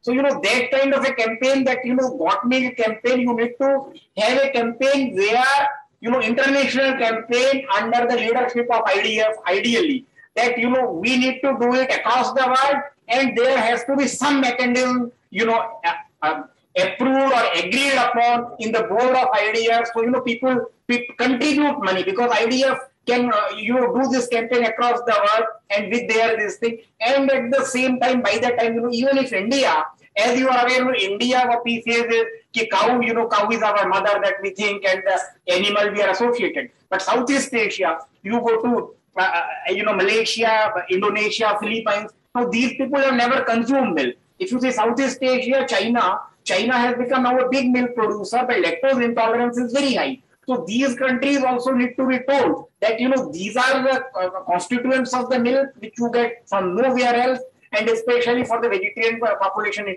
And you know I'm very worried that even in India, with so much of the vegetarian population, the the the the, the, the sales of plant-based uh, you know drinks is growing much rapidly compared to milk, and we need to do something. So yeah. it's a very very vital. Yeah. yeah. Thank you so much. So much. So I think uh, you raised a very valid point directly related to plant-based, and I would like to mention that even a POPO glass full of milk uh, being originated from NDDB from this place only. And uh, on the other side, the, the, the campaign which you might have seen of uh, Khana Meri Jaan, Sunday or Monday, Khana Ande. So that was again by NECC. A very good communication, and in that communication, the contribution is from the producer. Like in Manthan Dairy, farmers contributed some amount, you know, collectively created 10 lakh rupees of corpus. On similar lines, with each liter of milk, if one paisa is going somewhere, and getting created. I think it could create much stronger, like I, I am fully with you, much stronger a communication which is more sustainable also because on daily basis, at least in organized sector, we are having close to 11 crore liters of milk per day. So suppose even for per liter of milk, I'm not talking of the total milk production, even in the organized sector, if that particular milk uh, with, with one paisa, two paisa, ten paisa, I think some good corpus could be created. Then we have uh, Dr. A.K. Singh, uh, from NDRI because you wear two hats, sir. You you are into research, you are into entrepreneurship development, you are and and and I'm slightly shifting, you know, the uh, little bit direction of the discussion in the sense that uh, over and above these plant-based products and all that, I think some overcommitments from the startups are coming in the name of A2 milk or farm fresh milk or something like that. So I would like to hear, you know, how do you look at uh, this as a challenge, both from the perspective of does the consumer really understand it, whether it is plant based, whether it is, uh, you know, A2, does the consumer really understand it? So, what kind of challenges do you feel? Before I come with a bigger question to you, just, just your first take on this. How do you look at this evolving consumer? Okay, very good evening to all. Uh, thank you uh, for giving me this opportunity. Uh, what uh, I have, you know, keep on interacting with particularly the entrepreneurs and from the customer point of view, because being uh, one of the leading institutes, we keep on uh, uh, like questions from the general people also that uh, whether what is A2 milk, uh, whether it is good or uh, plant-based milk or alternative. So from that point of view, my, my always, you know, we have a take that all milk is milk. Okay, uh, whether it is A1, A2, they, these, are some classification only, you know, so far from the scientific community point of view, we don't have any uh, like concrete uh, evidence which can suggest that which particular type of milk is better or which is not good. So milk for us, milk is milk. Okay, and it is full of nutrients. It's one of the nature's perfect food. And probably uh, in a country like India, where uh, milk and dairy products are mentioned right, right from the time of Rig Veda. And in fact, I keep on uh, asking people, you kindly refer those books, uh, even the Charak Samhita and all that, where these dairy products are nicely mentioned uh, for their health promoting virtues. So it is also a time for the scientific community to work in tandem with uh, pharma people uh, with, with, the medical practitioners, nutritionists, physiologists, so that we can, uh, you know, uh, we, in real terms, we can validate that what kind of, uh, you know, the claimed health benefit of different milk molecules.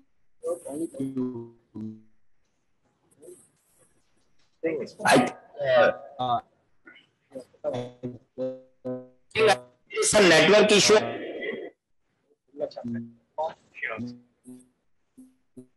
The product as such or in individual capsule, uh, we can wait probably this is the hello. Yes. Hello? Yes. Yes, yes. So this is the time where we have to work in collaboration and uh, so that and uh, so that you know we can put some concrete uh, uh, evidence to the consumers regarding that. And I always say that uh, don't you know use these one because these are false uh, one. And ultimately, uh, milk is uh, is also associated with the purity, uh, ethics. So you know the, if uh, consumer lost uh, any faith on your quality or your whatever health claim you are mentioning and they are not perceiving it, so ultimately uh, you will be the ultimate loser. Thank you. Thank you. And I think uh, uh, you have raised a very important point related to collaboration. Definitely, it's a collaborative work because no single institution in the world, you know, could uh, uh, get along with this particular message and reach out to all the consumers. It's really very difficult. Now, uh, I would uh, I would like to now question Dr. Bharti. Uh, Dr. Bharti, before you give your quick bite, you know, normally uh, we have heard, you know, since, since ages we have been hearing uh, that you are what you eat actually. So, so what you eat, you become. And then there is a second theory which has come, and that theory, of course, I would say again, thanks to COVID, COVID has given us uh, so large a university, you know, which was not otherwise available. So we are what we eat was the theory, and now the new theory which which come across is you are not what you eat, you are what you digest. And then between these two statements, you know, lies the whole picture of all kind of products coming in, maybe dairy or let's say the plant-based. So for this evolving consumer, just as a very quickly, what you you have to say that from nutritional point of view, uh, how do you rate, let's say, milk as a product as against these plant-based beverages? I'm not talking of other categories as of now. Please. So what I would like to tell here is that the evolving consumer is too much focused on prevention of non-communicable diseases. Uh, and especially in the uh, post-pandemic time, there is also a lot of focus on boosting immunity.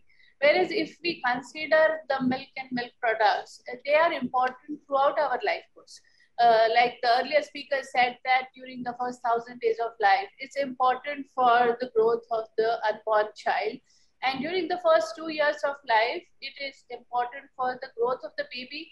And we have to understand that during the first two, first thousand days are very important for the growth of the brain because 80% of the brain growth and development occurs in the first thousand days.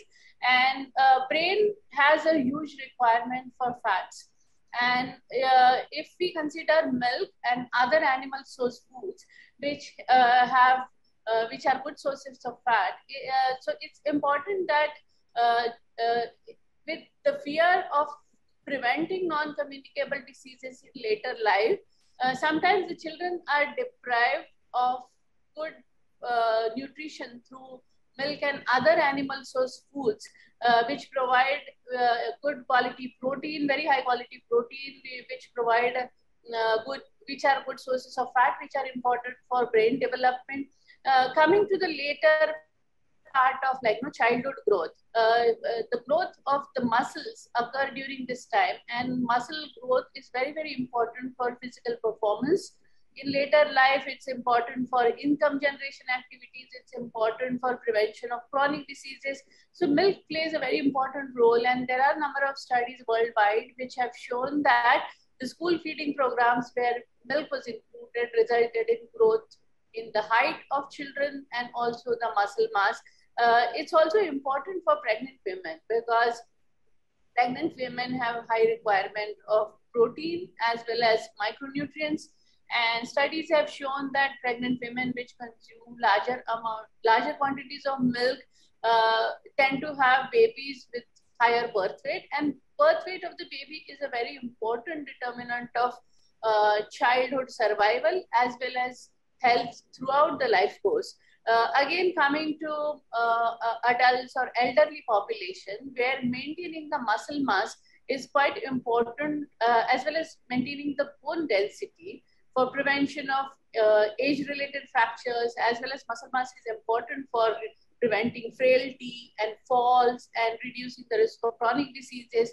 So I would say that milk has a very important role throughout the life course, and we should not ignore its nutritional benefits for the fear of reducing chronic diseases, which are in fact uh, multifactorial in uh, which are multifactorial determinants.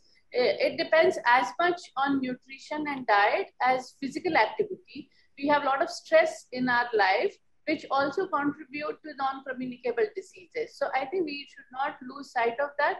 And as uh, mentioned earlier by one of the panelists, it is actually a misnomer to call these plant uh, products as milks because it, it tends to uh, confuse the consumer uh, that somehow these the nutritional aspects of these plant products are equivalent to milk, whereas it's just the it's a fluid form of things. So, it, it uh, uh, the protein uh, quality of the milk, which has a number of benefits, especially in children, uh, plant-based products cannot equate it, and I think uh, it should not be called milk in my opinion.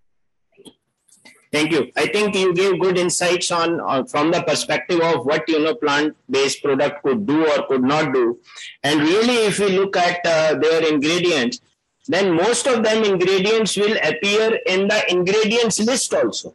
So if they are talking high of calcium, you will find added some added source coming from, you know, both for protein, sugar, everything, you know, there are added, added source. While in our milk, there is a clean label, simple label, which says milk solids. That's all. So that completes the whole thing.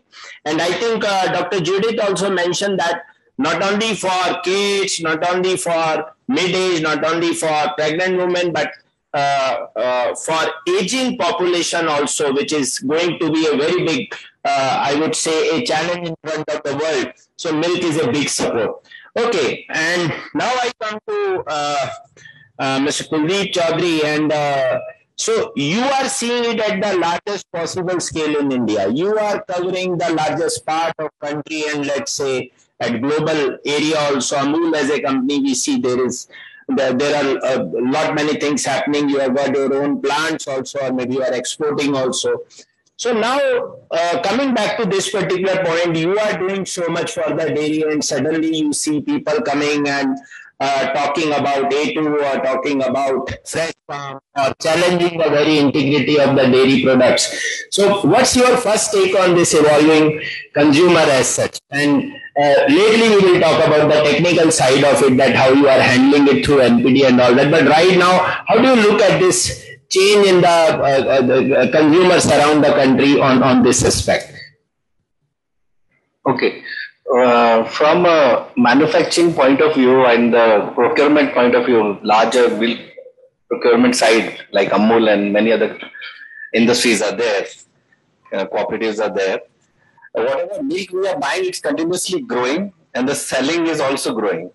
If you start comparing with if consumer is shifting to any other product, say vegan foods or any other thing also, it is like a marketing test when somebody does in a market, but you have to see the repeat buying.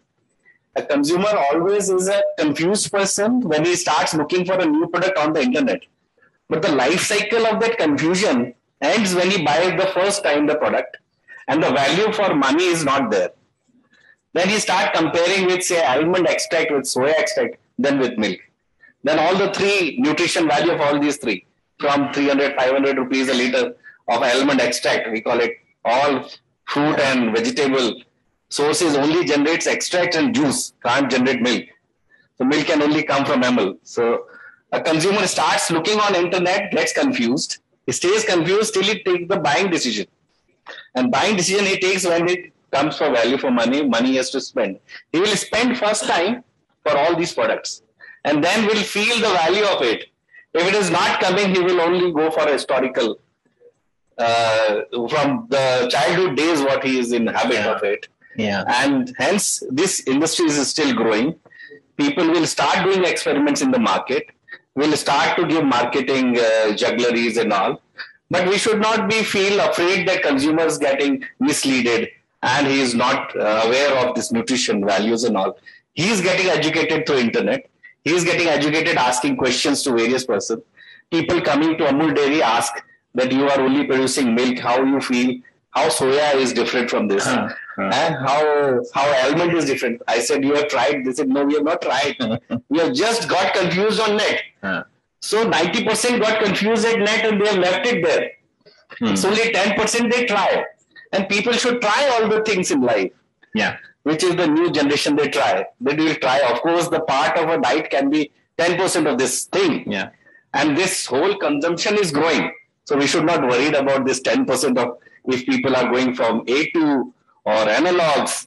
This will not change the consumption of whole India. Will not impact this whole industry at all. Will not impact the nutritional diet requirement of a person, which is now very much aware. Since childhood days, he is aware of about this one. Yeah. Yeah. So we can have a debate over this, but uh, consumer is confused for a very small time. He is very smart these days, which Mr. Kurien and Dr. Kurien have uh, acknowledged the power of consumer when he made this federation. That consumer can be confused or challenged, but he's always king. Yeah. Ultimately, he takes the best decision for his body and everything. Yeah, yeah. So we can have a discussion of all these things. It's just new things coming up. People gets involved into it, gets deep into it. They ask what is A2, and we say it's a different kind of a protein extracted from the milk only. So uh, a less uh, digestible protein or a more digestible protein. A little bit you can say uh, buffalo milk has more that kind of a protein which will be more digestible or more nutrition. But at what cost? Yeah. A little bit. And how you segregate? Who will ensure the A2 quality milk testing? So that consumer is not aware. So it's very difficult. And and he is not even aware the level of uh, testing facilities which Amul has created, or let's say the dairy industry. Right. These play, players have you know uh, created to prove the authenticity. And now I'm I'm shifting. So what what I'm doing now? Let's take the second round from this point onwards. And I'll start again from you because you could be, um, you know, more. Uh, uh, there, there there is a string which I am going to stretch from this point onwards. So you have given two important points. One is the experimenting consumer, and number two, the short time. So it means it's not going to become a habit. It's a fad. Let it be, but this fad, but this fad now. Let's look at this fad. What this fad has done in US. So I think a survey uh, said that in five years' time, there was a 19% decline in white milk consumption in US. The same survey also identified that around 92 to 93 percent of the households were keeping white milk in their fridge on regular basis. The same survey also found that 45 to 46 percent of those households were also keeping your so-called plant-based extracts. The industry size rose to a 13 billion dollar as against daily 13 billion dollars is hardly peanut I, I- I'll put it up like this in India, this business is standing today at 150 crore rupees. In India, it is expected to be by 2025 close to 600, 500, 600 crore rupees. But the thing which we are, we, which we are not actually seeing clearly, a particular survey being done by the regulator in India also saw that products like paneer, khoa, ghee, more than one quarter of them was having vegetable fat it was chemically adulterated. But if I look at those sectors, the informal sector, which is still, let's say, of the total milk produced, 80% of the total milk sector, if I look at that sector, then plant-based beverage, where all the focus of the industries is hardly 150 crore. But these three segments, let's say, khoa, paneer, ghee, is having 200,000 crores and which crosses the 13 billion dollar. So why I brought these numbers so that we can you can we can feel you know the seriousness of how things are happening. Every other day we are finding news. Khoa found with vegetable oil, ghee found adulterated. The regulator has still they are taking some time. It will be done very shortly. I think two days back there was a case where a person launched 100% vegetable ghee writing 100% ghee on that at 599 rupees and some actions have been initiated. Means people have reached to that level where they are, they have started to launch these products, you know, not really caring about the labeling and all that. So my question to you is that Amul showed the world that I think new product development and churning around four products, six products, 12 products in a month, even that is possible. Amul showed to the world that when it comes to quality assurance, if Amul says A2, then they can validate it because they have systems at all possible places. If they say their ghee doesn't have any such kind of thing, then for ghee also they have invested in millions and millions, you know, to create that system. But it means both for regulatory and authenticity, Amul has done such a wonderful thing. But the question is that how whole of this thing can be communicated to the consumer? How the consumer, does the consumer really know about it? So what is, what are those processes, you know? So the, one side is what you have done, the science inside your organization. And what is happening outside your organization where you are telling the world that yes, these these practices related to NPD or let's say QA are actually happening at our end. So maybe that is your second question where just let us understand how things happen. Right. So from uh, Amul point of view, to ensure the quality, majorly the product which we are making from farm to fork, it's the main motto is uh, what you sow, you reap. So, so you have to always focus on input to get the output. So from the very beginning, the Mr. Kurien days when they started, it's the farmer milk and the testing ability which it started that time. Now over 75 over years, how it has evolved and how now digitalization has happened from farm till fork, which is helping us to maintain the quality and across the supply chain. Starting from farm, if you say, so good quality of nutrition given to the cattle will surely ensure a good quality of product out. Once it is out, then you need a state-of-art equipment at the source at farm level, which should not be uh, manually intervened by anybody. So we had a system there in the farm where a milkman comes, pour the milk and you get tested for eight adulterants, then it get tested for fat SNF. Then automatically from the Wi-Fi, the data comes to the PC. Even I can see every morning the farmer data. So it's so transparent that farmer gets the immediately message also. His fat SNF is this and this is the payment. So this is the way the digitalization will take care of quality at each stage. And this same digitalized process till the consumer, you can show to your consumers from the digital platform, from the visitors coming to your factory, which Amul always open up arms for them. And this is the way to show how quality is managed. Seeing is believing. Seeing is believing, yeah. So it starts from farm, then the milk is brought to the factory. Now milk is all pure there. You have tested it well. You have no manual intervention. Now you need tanker to be also false proof.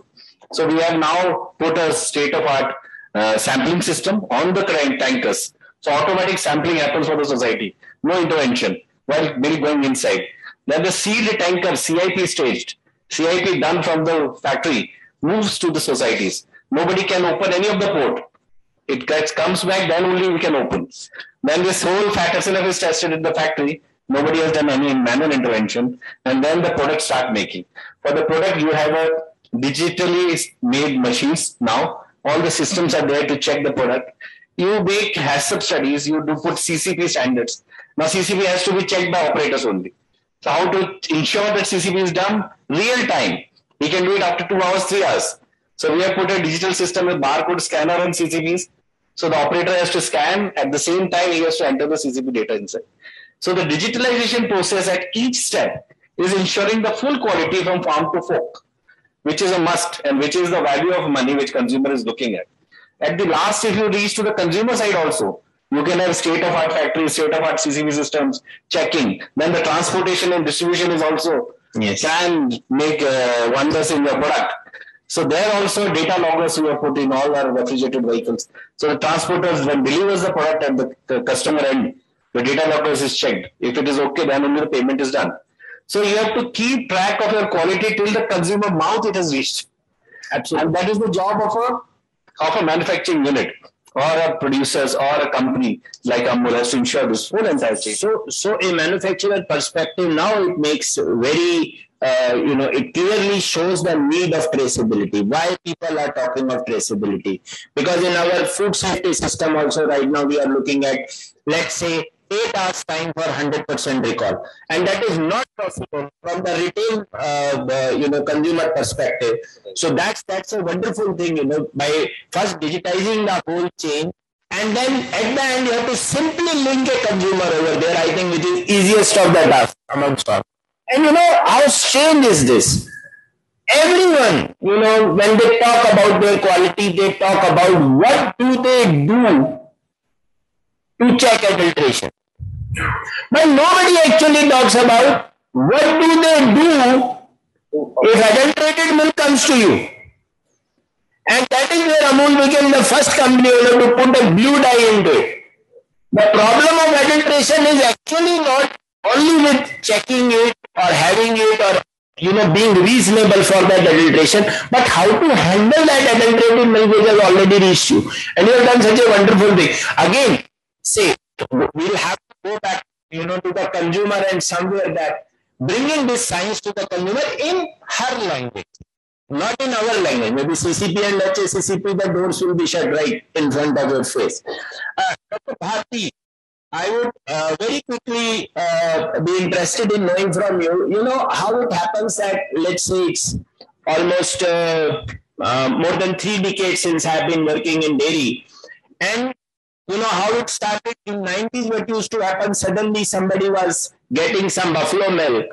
And then somebody, they switched to skimmed milk or separator milk. I asked what happened in relations so they said our doctor has told us, you know, to switch to this skimmed milk. By the end of 90s or let's say early 2000, they switched to DTM, double tone milk, 1.5% fat.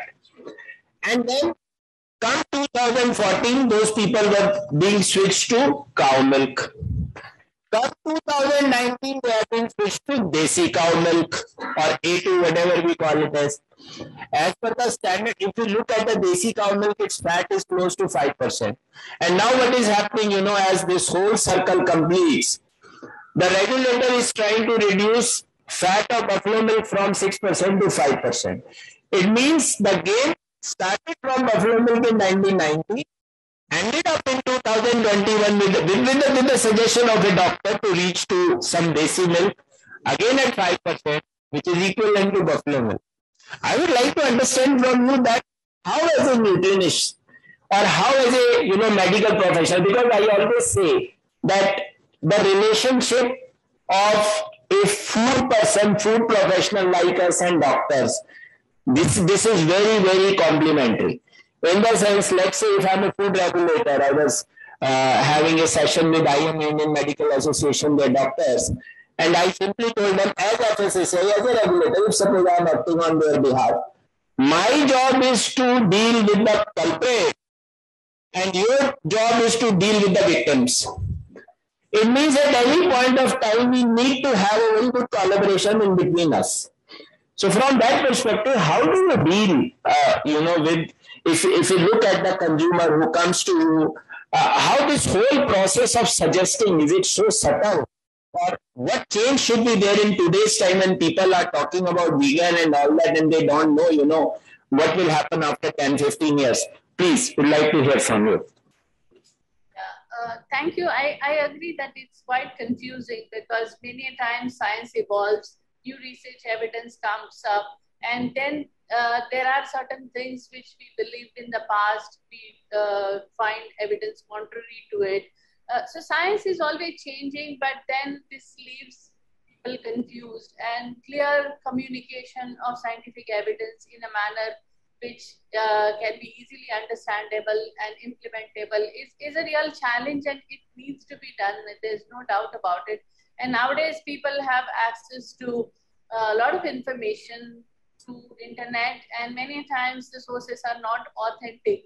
So it becomes really mandate, uh, it becomes essential for uh, an authentic source of information and the organizations such as Indian Medical Association uh, have very important role to play. uh, I, I, I think uh, there is no sort of uh, shortcut or so, sort of easy way to go ahead, but uh, we have to keep trying for clear communication. And also, many times, what happens is uh, if you look at one attribute and try to sort of uh, choose a product because of that attribute, many times people ignore the other attributes. For example, like you know, products such as buttermilk or some products such as haldi. So people perceive that it's healthy, but then haldi doodh has more sugar, uh, whereas many of the buttermilks uh, they are they have probiotic properties, but they have high salt. So uh, I think one needs to uh, have a clear communication, and nutrition literacy is quite important, and it falls on the shoulders of the nutrition and dietetics community as well as the medical professionals uh, to have clear, simple guidelines which people can uh, people can.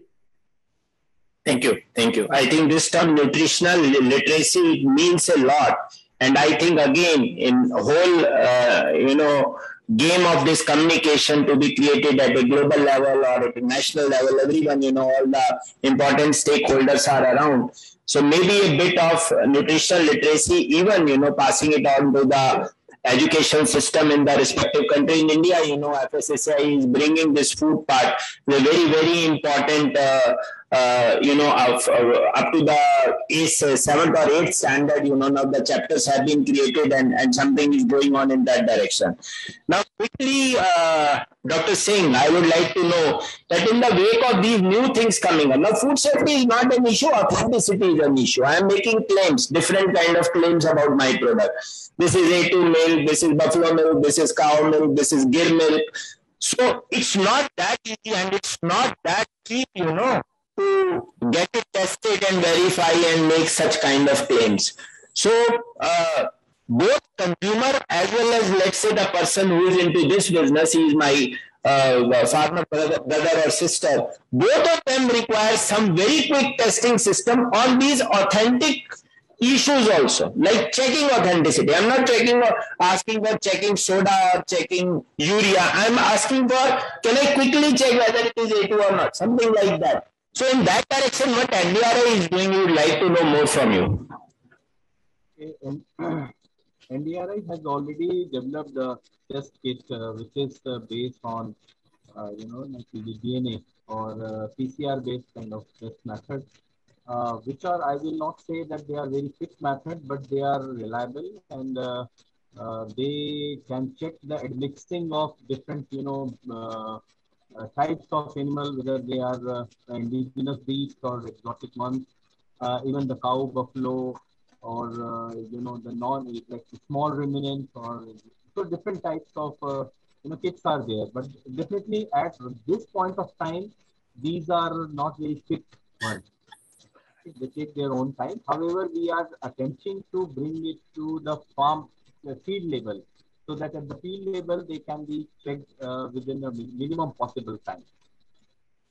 And, and what kind of kits are available from your side for consumers, let's say from milk perspective? Some quick tests? Uh, direct, directly, these are not available to the consumers, but uh, definitely we have transferred this technology to few of the established uh, laboratories, uh, NABL accredited laboratories, where uh, we recommend always, you know, and some in some cases uh, like where we are doing some population kind of study.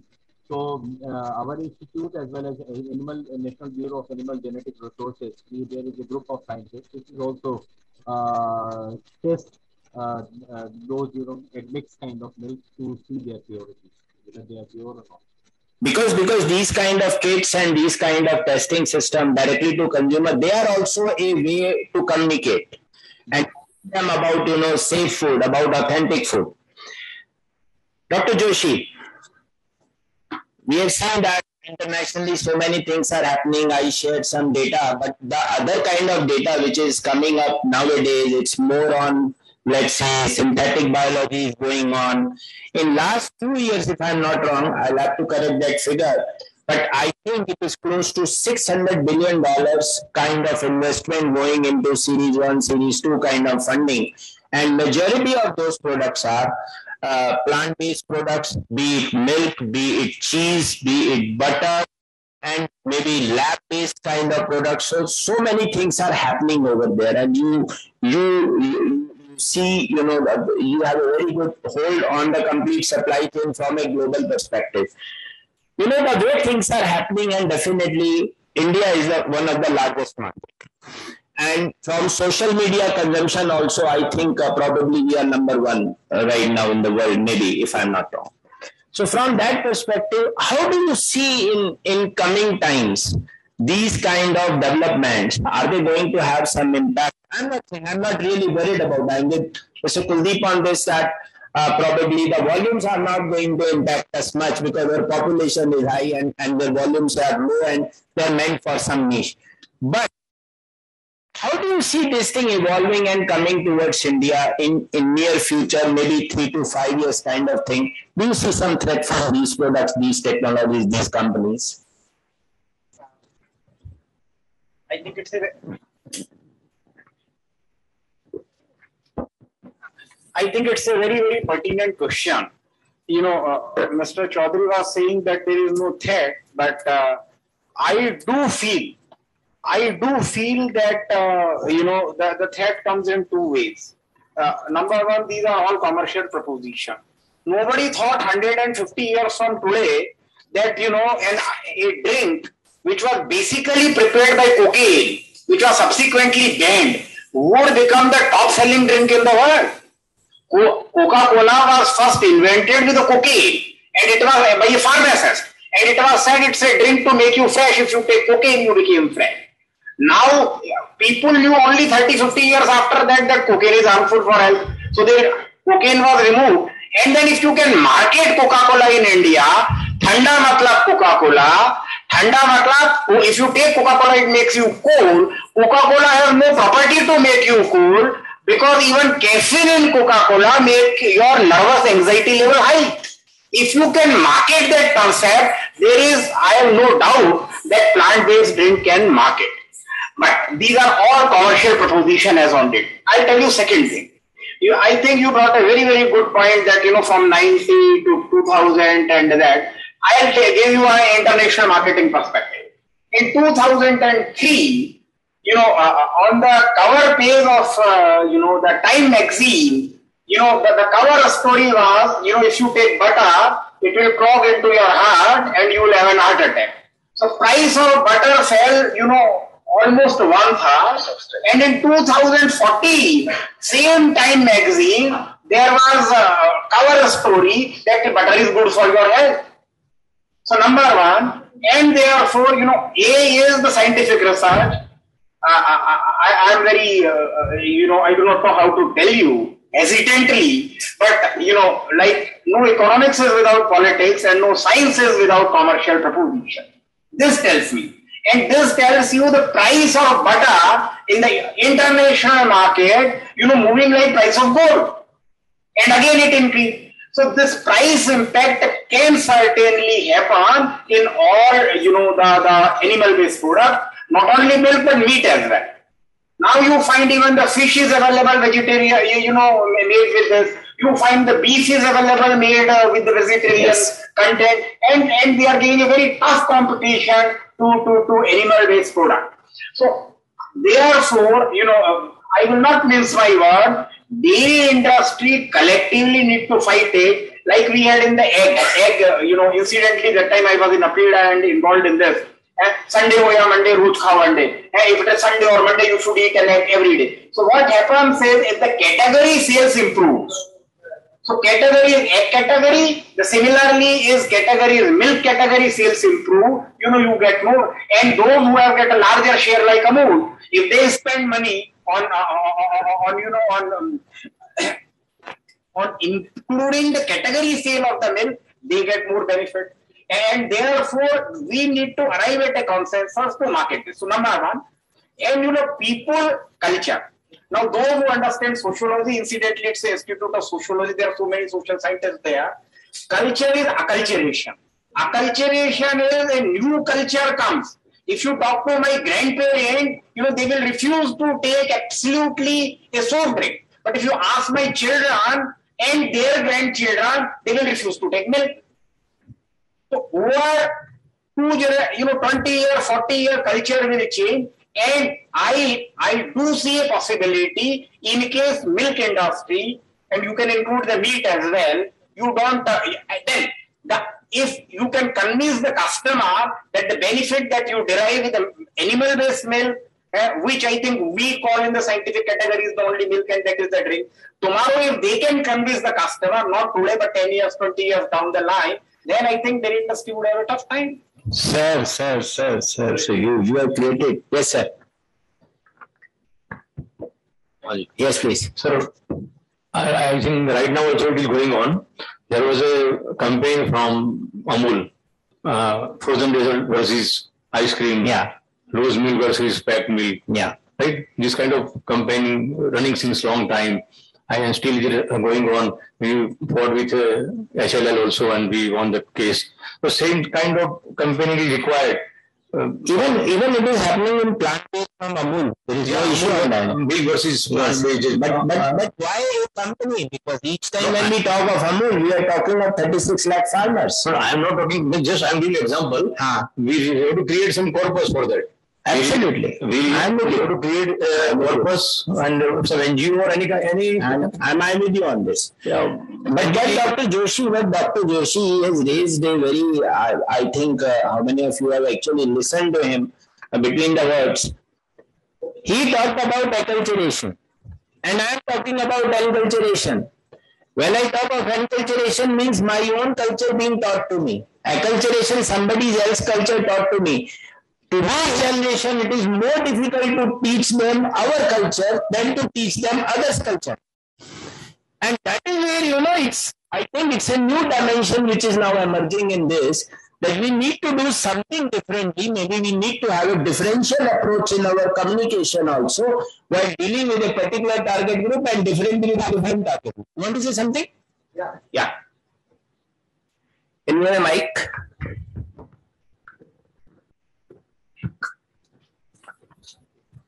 Uh, I was just listening, and then what Joshi sir has just mentioned that. Sir, please introduce yourself. Yeah, I'm Sandeep Kadian from Amul Dairy, in QA and R&D. Yeah. Okay, so the concept is that uh, what is used is that like Coca-Cola, uh, you know, the other drinks. See, uh, in 24 hours, people do have different emotions, right? Milk is always put in a segment in advertisement. Also, though Amul has tried to change, you know, some funky, some youth, some energy. So we need to create milk uh, in one segment, how to advertise milk, how to develop product, you know, the energy segment, how to, uh, what should I say, like, during advertisement, there are different concepts. How you sell your product, how you advertise. Absolutely. You have your product in nutrition, you have in indulgence, you have in convenience. So, like we have flavored milk. Like Yeah. flavored milk can give you all those, Yeah. you know, the fun and energy, whatever you say. Yeah. like Coca-Cola or any other thing. But how do you advertise like that? So those who drink Coca-Cola, it's not that they don't drink milk, but they do drink Coca-Cola because they need that maybe energy, maybe that fun uh, in a day. So this is how 24 hour cycle and different time, different mood. Definitely. So the point is that we need to uh, advertise and make our uh, communication more into different segments. Yeah, absolutely. Nutrition point of view, fun, energy, and all that stuff. I think that will You know, 19% of that milk, white milk drop, as per the US study, also indicates that 52% of that drop didn't go to plant based. It went to water. Simple drinking water. And then there were some juices, and then plant based beverages were at the bottom. On one side, you know, statistics is the simplest way to, uh, you know, put different shades to the world. So, one way of it, if your baseline is small, then even a very small growth will look very big. So, saying it, let's say 250% of growth in plant-based beverages, somebody said after his marriage that he was a poet that my audience, there has, there has been an 100% increase in my audience. So, how it was earlier, only he was listening to his poems, now he has got life also. So, you know, this is all this, but these contexts, you know, we cannot be complacent. The purpose standing over here on this centenary celebration means 26 November onwards, we are looking at Kurien 2 we are going to enter into and, and, each time we have to think we have to think like had dr kurien be here how he might have been thinking? What would have been his reaction? Amul has given a reaction you were telling some newspaper writer some had dr kurien be here how he would have reacted to peta i don't know but i believe that all of us know so the thing is Let's prepare ourselves for that. Dairy too, Kurien too. We have to lead the world in a different way. So how to handle all these people in a in a different we cannot be complacent because I, I still remember I used to run some entrepreneurship development program. One person came to my program, booked himself for three days. First session was one, one and a half hour general introduction to dairy industry. I just talking, you know, as usual. So I was talking and then there was a break. It was tea time. He sat before the tea. He said, sir, I have a question. I said, yes. He said, sir, I am only worried about one thing. Money is no problem. Was having some 250, 300 crore rupees kind of asset lying very near to Delhi at Mathura. Very big group. He said, sir, money is no problem. Whichever line you say, we will put it up. My management has simply asked me one question. What if tomorrow the demand of milk is not there? Because whichever industry we have gone all across the world, this is a very simple question. Look at the demand. So I told him, what are you saying? Milk demand? It be challenged? Do you think can it be challenged? And today, I'm not saying it has been challenged. But what I'm trying to say that at least this is also not a state where we could be complacent and think that nothing will happen, probably. So it's a, it's a good direction, you know, we are setting a right tone for this. Dr. Parekh, I think uh, one of the segment which is which is visible now now after post uh, pandemic that there has been a lot of conversion of unorganized into organized that the consumer the dairy consumer is not ready to go for unhygienically packed and you know those and, and some typical categories unfortunately or fortunately are from the indigenous milk products. Paneer as a segment, 40,000 crore rupees segment, only 3,300 crores in organized sector. Sweets as a segment, 70,000 crore segment, maybe 3 to 5,000 crores in organized sector, maximum 8,000. Same is true with, let's say, khoa. Such a huge segment, almost 0% in organized sector. Now, when we talk about these products, and you are an expert, you have seen all sides of the dairy. So, from technology front, is our country ready for bringing right technology and the kind of scale which is being required, and taking out that subjective factor of this this karigars kind of vision on a product Please, we'd like to hear from you on this. How prepared are we? As you already mentioned, these products are still very much in a, on unorganized sectors. But we have to keep on trying to make that product becomes more uh, hygienic, long life, you know, proper branding, packing. So this is what is going to happen now slowly, slowly, because consumers want the quality product, long-lasting branded products. They don't want to buy the loose products. So when you talk about the ghee also, now we find a lot of a variety of the in different regions of the ghee. But now some of the plants have started even making the continuous way of ghee, untouched ghee, or what we are using now pre-stratification method, It can save the life and other proper packing also and branding also. Same thing the paneer also now most of the so many plants has come already in India, most of the similar to the cheese plant which are imported one. So some of the plant has been modified to suit their paneer requirement with acid coagulation or continuous coagulation process. So these some of the things are happening, same thing the Rasgulla also wall making machine has come, continuous fires has come. But this, as you mentioned, the organized sector is a little bit less then unorganized sector. But some of the brands like Haldiram, Balaji, or some of the other uh, brands, you know, and Amul also there. So many other cooperative brands which are heavily branded products, Rasgulla, Gulab Jamun. So a lot of scope is there for the export also. Some are doing retorting also or hot water sterilization, which give the better life, better picture. We are doing like now IQF is also coming up. Thermoforming machine map, you know, modified atmospheric systems. So so many things are in Bengali ships also very limited life is there.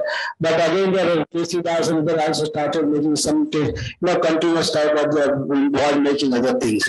So this industry is a huge industry. Margins are profit also very much, but you have to be sure about the quality and the life of the product. So this industry is going to grow up, and after this COVID, everybody has realized this product has no more value. So unorganized sector is going to become more organized sector. Whatever twenty percent, thirty percent will maybe double in a five years time. So I look forward to see that uh, indigenous product has a good scope. Again, whatever the sweets you are making, like Panda is also coming up in a, you know having a three two months live with a map technology. So these some of the products which has been properly packed, properly online production, hygienic produced with a less intensive maintain the product can be life can be increased. So these are some of the things are happening. But still, it has required a lot of growth things there, particularly the seasonal, you know, like Deepavali or another function. Yeah. lot of scope is there for the sweets. Whether it's a desiccated product or fermented product or it may be a coagulated product. So we have got two varieties of the product.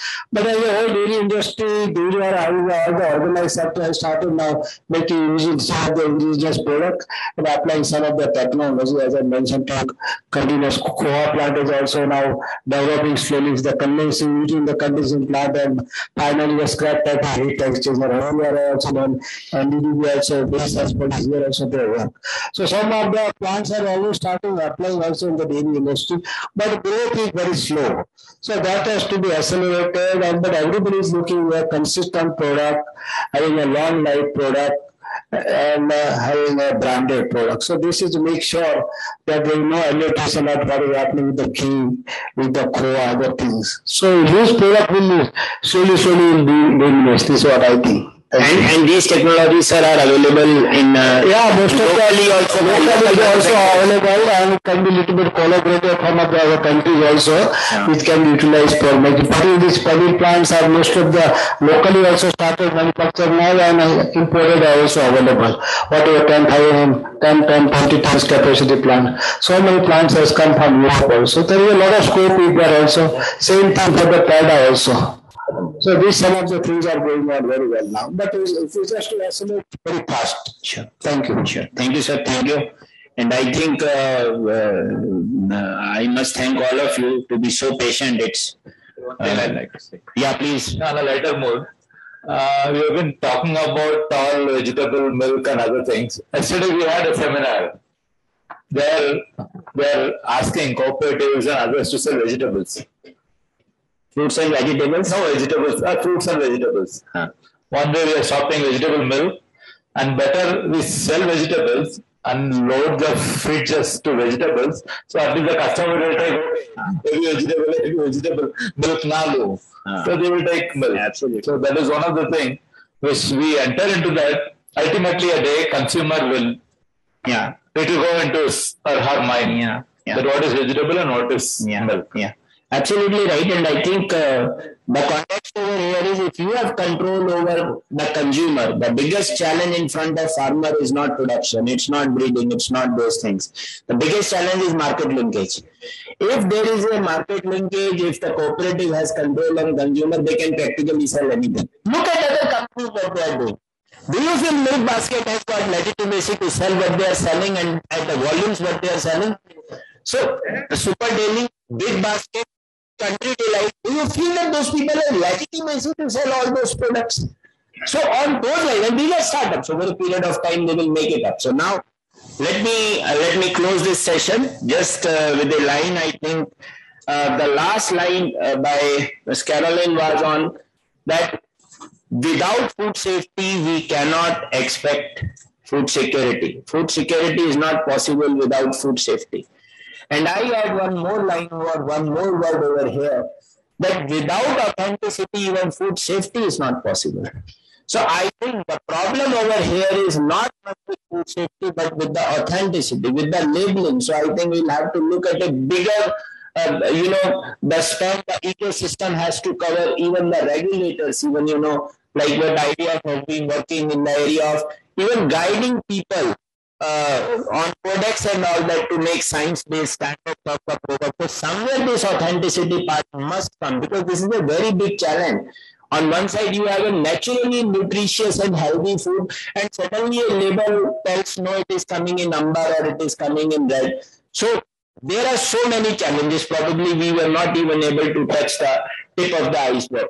But at the end, I would like to say that one of the initiation taken by one of the foundation be uh, Food Future Foundation, which has been started recently, two years, I think it has occurred. And what those people have uh, conveyed and now it is going to happen, FSSAI for the first time going to have school-going children, college-going students as part of their panels and committees. Because future food actually is being defined by them.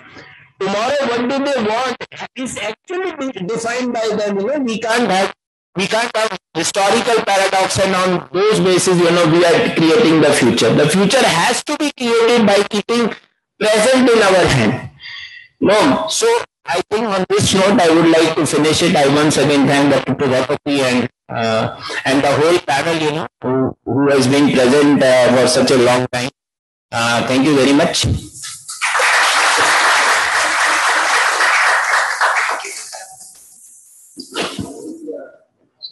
Thank you so much, sir, for such an engaging discussion. Uh, as we come to the end of this panel discussion, I request Dr. J.B. Prajapati, sir, Chairperson VKCoE, for vote of thanks and concluding remarks. Thank you, Smriti. Uh, so it is a very long session, two to six, it's more than four hours now. And uh, I really thank all those who are online, seeing Caroline and Dr. Srivastav and Judith till the end. Uh, this Dr. Srivastav called me, took my permission that I'm leaving now. And all those who are physically present over here. Uh, they traveled a long way and still they have to go back a long way. Uh, so I'm thankful to all of you. I will not uh, make any concluding remarks, but I feel sorry that Dr. Sodhi was to do that, but it was a very pressing meeting today and uh, he was required to leave it. So uh, we'll be soon circulating these uh, proceedings of this. And probably I will request all the speakers to give some brief about what the talk so that we can circulate to all of you, uh, to other online viewers also, and all the members. So I'm thankful to uh, all my panel members, especially starting from Sri Meenesh Shah, Chairman to Dr. R. Sodhi was, even though he was today morning present and left it, and then uh, the director of IRMA, Professor Umakant Dash. Then we had uh, Judith, uh, Dr. Kasinasu, Dr. Joshi, Dr. Parekh, Sri Kuldeep, uh, there are two Kuldeeps here, Kuldeep Chaudhary and Kuldeep uh, Sharma, and all our distinguished members who attended this program and made it a success. So I'm happy that we uh, what we want, we achieved what we plan to do, and probably there's a lot of sensitization has occurred now that how do we link uh, dairy science to the society, and there will be good insights, and we have two eminent uh, personalities connected to press. Kuldeep uh, or Dr. Devi Parekh, दोनों का अपना अपना magazine want that they should publish a full story about it and the readers will take note of that. So at the end, I thank all of you very much and thank my team who are working since last two, three months, especially Dr. Pankaj, Ankit, Dr. Smriti and Darshan. And uh, thanks to our role coordinator, Professor Singh Prasad. Probably two more sessions are going on still parallel uh, down. So thank you all. Thank you very much. Thank you very much. Dr. Singh, thank you very much for joining uh, and replacing the director of uh, NDR Karnal. Thank you, sir. Thank you very much. Thank you. We thank you all who have been patient with us uh, for joining us both physically and uh, virtually for the session. A special thanks to the active volunteers of IRMA We thank you all again. Have a good evening.